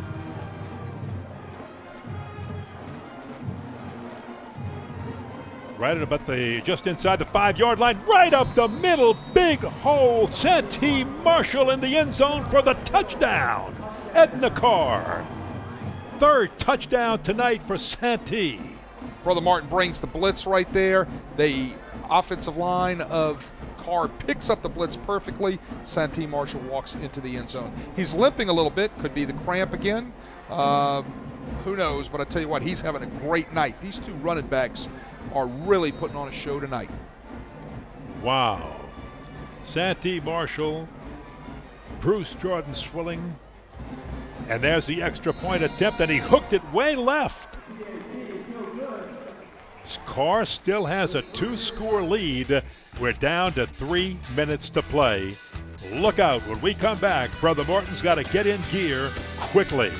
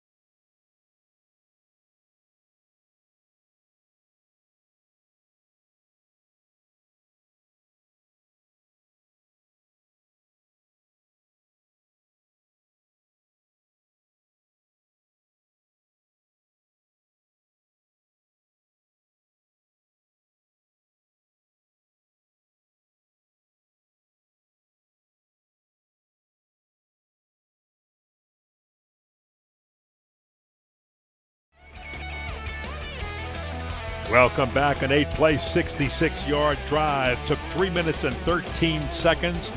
Santee Marshall from five yards out takes it in to give the Cougars a 55 to 46 lead. Only three minutes to go. And Brother Martin's got to score quickly. It's a two score ball game. This one finally gets returned. Chris Smith bounces off the pile, comes to the left side, gets some running room, and gives the Crusaders good field position out to the 41 yard line. It's a great setup right there to be able to put them in good field position. Effort, effort, effort by Chris Smith right there on his return. For Edna Karr, their first three possessions of this game all resulted in uh, the second half. First three possessions of the second half all resulted in touch, uh, touchdowns, and took three minutes and 13 seconds. That touchdown drive, eight plays, 66 yards, three minutes and 13 seconds. That's that's real fast. Here's a good look at the return again. Bounces it outside. Will set up good field position for the Crusaders. On first down, John Paul Pierce, after the play fake, tosses. It's deflected, and Singleton couldn't get a hand on it. Ball a little high, just couldn't get up to get the ball right there. I think he had a step on the receiver, was a little open, just not very well thrown ball. Play action pass. Should have hit him right in the chest with that ball. yeah, it really went route. right through his hands, yeah. yeah. Well, I mean, it, still, he's got to bring that ball down a little bit. Kind of hung him out to dry. Second down, 10. At their own 41 with Lasser in motion. Play fake to him. And We've got flags, so hold everything. Play blown dead. Oh, we got a timeout. Oh, a is what we timeout was called. Karr calling timeout.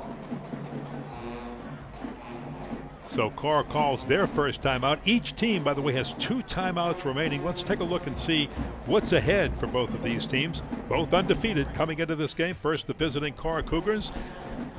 They get to rest after beating a couple of 5As and right now leading another 5A. This 4A team gets a, a break and then they start district play, and that's no walk in the park when you go to Riverdale. Well, you know, Riverdale's really turned their program around the past couple of years, but you look down that schedule, look at October 28th and November 3rd. Those are your district championship games, and he's going to have to be healthy coming into that, and Belle Chasse won't be any pushover either. I bet you that uh, Warren Easton game is circled, as is McDonough 35 is circled, and it's going to be fun. Those are going to be your two district championship games right there. But you know, the question is what we've seen tonight. Wow. Karr Cougar can play with anybody in 5A.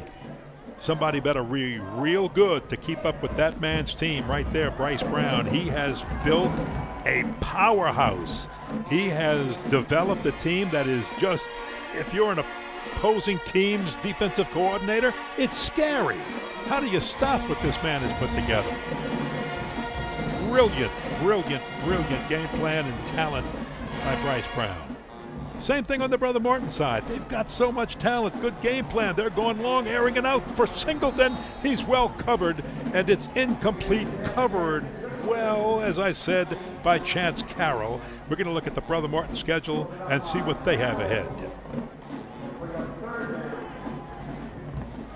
Well, As no- we watch Singleton Yeah, there you go. go back to the huddle. Next, John Curtis. No bye week. You go right in, right from the frying pan into the fire. Well, I think they open up with district play with Curtis at Zephyr Field, and they go Og. Their bye in the district is with Sulphur, which is no pushover. A solid football team from uh, Southwest Louisiana. Third down, 10, and the pass is off its mark. There was a little. Go back and look at that to see if there was enough pressure on John Paul Pierce. But that was third down, 10. And fourth down coming up, fourth down 10. You've got to go for it here. You can't you can't punt it away to this explosive offense with 233 to play. Oh, I think you're going to see them go for it right here. He's sailing the ball a little high right here. I think that's because of the cramp in the leg. He can't come down on the front part of his right foot too well All right, right, now. folks.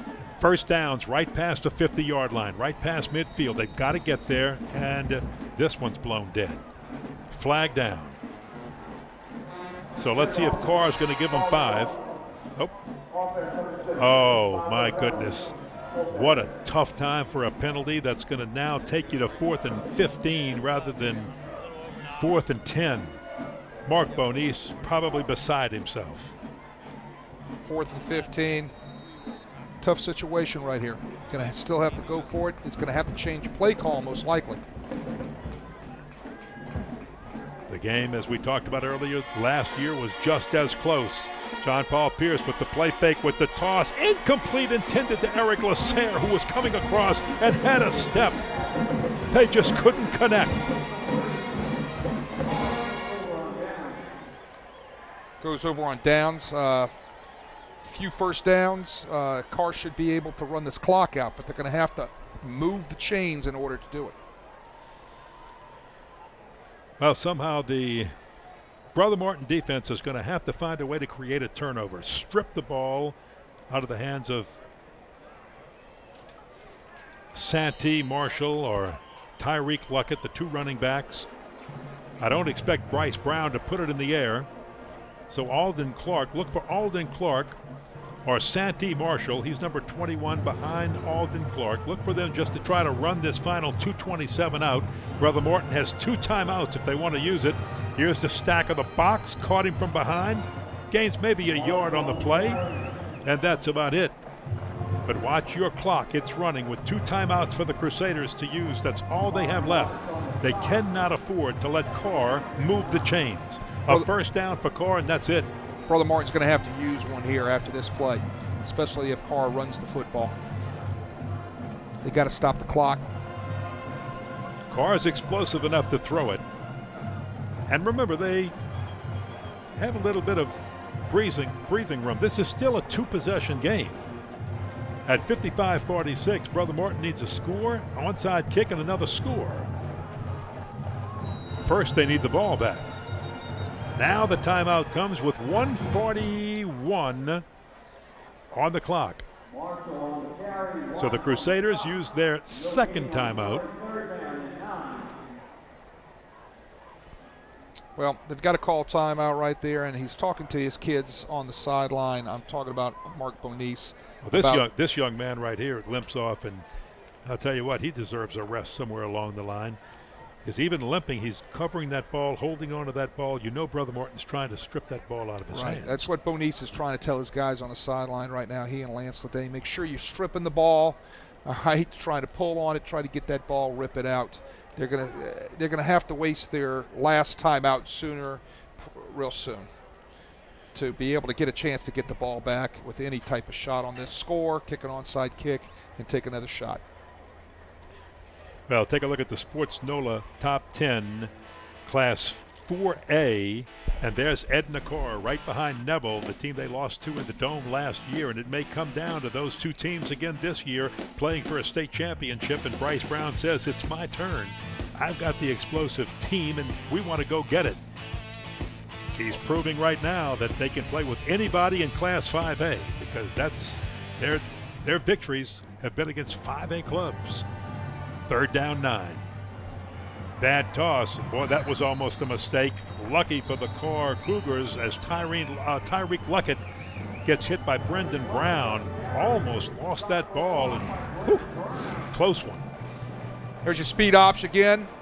Great job right there. Uh, Simon Football coming down. Brandon Brown making the tackle in the backfield. It's been a big play uh, on the night for Karr. They, I know they scored a touchdown earlier in the game off of it. They ran it three or four times. But right there, it's defensed perfectly by Brandon Brown. That should be Brother Martin's last time out.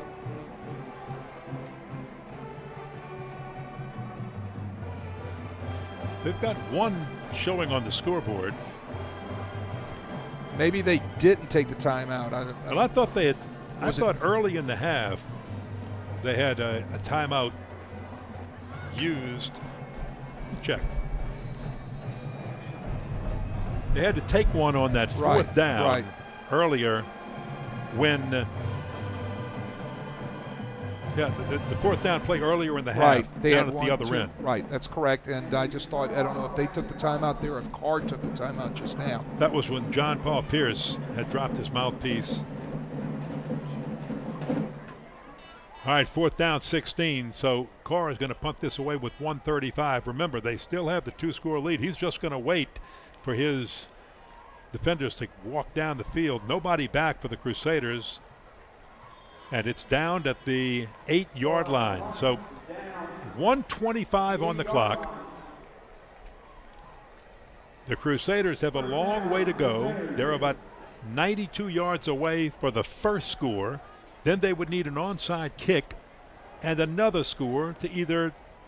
Uh, second score would get there because of the missed extra point. So even a touchdown and a field goal or two touchdowns is what they need. Well, they're going to have to score quick, and it's going to be on the shoulders of this guy. He's got to make sure that uh, he's able to uh, get that ball on target. And I, right now, I think he's kind of hurting, especially with his lower right calf, to be able to, to get that ball on target. He's been sailing his balls. This deep in your own territory is the worst starting position for any team tonight, and it comes at the worst possible time for Brother Martin, but they didn't have anybody back to field the punt. So John Paul Pierce has the snap, play fake. He'll move to the right. You can tell he's still hurting, cramping, and he just tries to dump it off to Singleton incomplete, but he couldn't move very well, and he's down with another cramp. You could see it when he threw the ball. Well, uh, he, he's, he's not able to. He, he's sailing. e- He's sailing everything he's throwing. He See, can't there throw it is, off right there. his He's front got foot. the cramp. He can't move. Wow. He just can't throw off that right foot. And that's his plant foot. That's the foot that he comes across the top on, and uh, you know he's struggling with that. Wow, that's tough. And, and that means you're either going to see, un- unless he just stays in there, you're either going to see Jeremy Singleton as a Wildcat, or you might see Bruce Jordan Swilling take the snap himself. Would they put him in the Wildcat slot? Let's take a look at SportsNOLA's 5A top 10. Brother Martin, number four. They're going to play John Curtis next week. They are ranked second, and the team that beat Brother Martin in the quarters last year, Catholic High of Baton Rouge, now they won state last year, and they're right up there in the SportsNOLA top 10 as the best team in 5A. How do you like Ponchatoula in there? What's Hank Tierney doing there to sneak Well, his he- he- he- green wave right. into the top 10? He went to Acadiana last week and whooped Acadiana there. What an impressive win for Hank and his Ponchatoula Green Wave. Rummel, right back. No Chase Fourcade this year, but still a good enough team to be ranked in the top 10. It's not just the quarterback. John Curtis was in Shreveport last week. They beat West Monroe in a big game. Uh, I think they call it the uh, Battle on the Border up there in Shreveport. Uh, Mark Bonis is thinking right now, here goes my starting quarterback.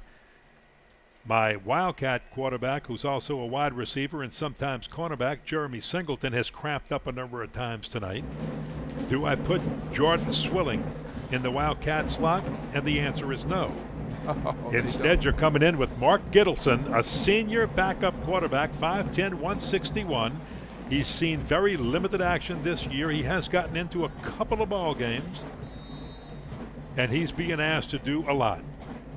Those eyes might be pretty wide. He has not thrown a pass this year. The lefty, a short one. They're going to look for Singleton to make things happen on his own. He breaks one tackle but goes down at the 29 yard line. Clock is running now. Brother Martin does not have a timeout remaining. The clock will stop while they move the chains after the 20 yard gain, but Brother Martin cannot stop the clock. They have no timeouts left. Remember, it's still a two score ball game, not a one score ball game. Screen to Singleton. That's all they can do right now. And Singleton's hit hard and dropped immediately by Sheldon Celestine. Nowhere to go. Sheldon Celestine comes up, snips out the screen, and puts a nice hit on Jeremy Singleton. 49, 48, clock ticking. Another look at it right here. He dumps the screen. Here comes Celestine. Boom, right there. Nice play. Great defensive effort. It's hard to rally your troops when your starting quarterback and your Wildcat quarterback have both been cramping up and neither can take snaps. There's the toss out to Bruce Jordan Swilling. Mark Gittleson in the game now at quarterback. He is the third quarterback used, fourth if you want to count Jeremy Singleton as a Wildcat. Here comes eight back into the game. Ah, John, John Paul, Paul Pierce Pierce. coming back in. So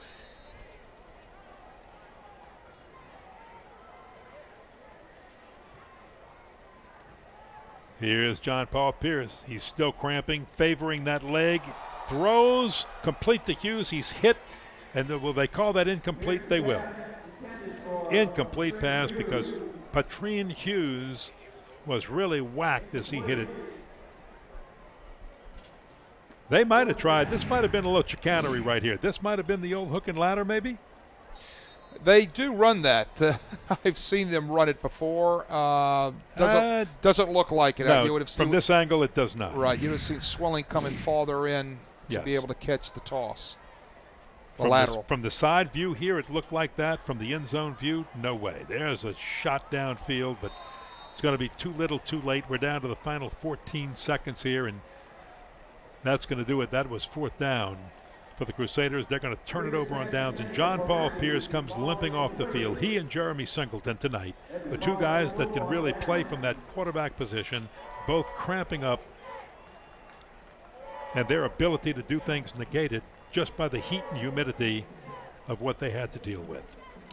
Karr should be able to kneel this out. It'll be all over. Hey, how about Bruce Brice and this 4A team, 3 and 0 to start the 2016 season against three 5A teams, all pretty good. St. Paul's, Landry Walker, and Brother Martin. Well, I think what he does is he makes a statement. He makes a statement, and uh, it's not only making a statement right here in uh, the city of New Orleans, but he's making a statement to the guys up in Monroe. Neville, You better believe it. Brice Brown, congratulations, fine win. Congratulations to both coaches because they both played very well. Your final thoughts on this game? I tell you what, great. If, if you love offense, you got it all tonight. Uh, the two running backs were phenomenal. Great jobs by both offenses. Well, want to thank you, Wade, and what a great game. Hope, folks, that you enjoyed this one. Thanks for joining us on the first NBC Bank Prep Showcase. Next week, it's a battle of St. Charles Parish as Hahnville faces Destrehan in a District 7 5A matchup.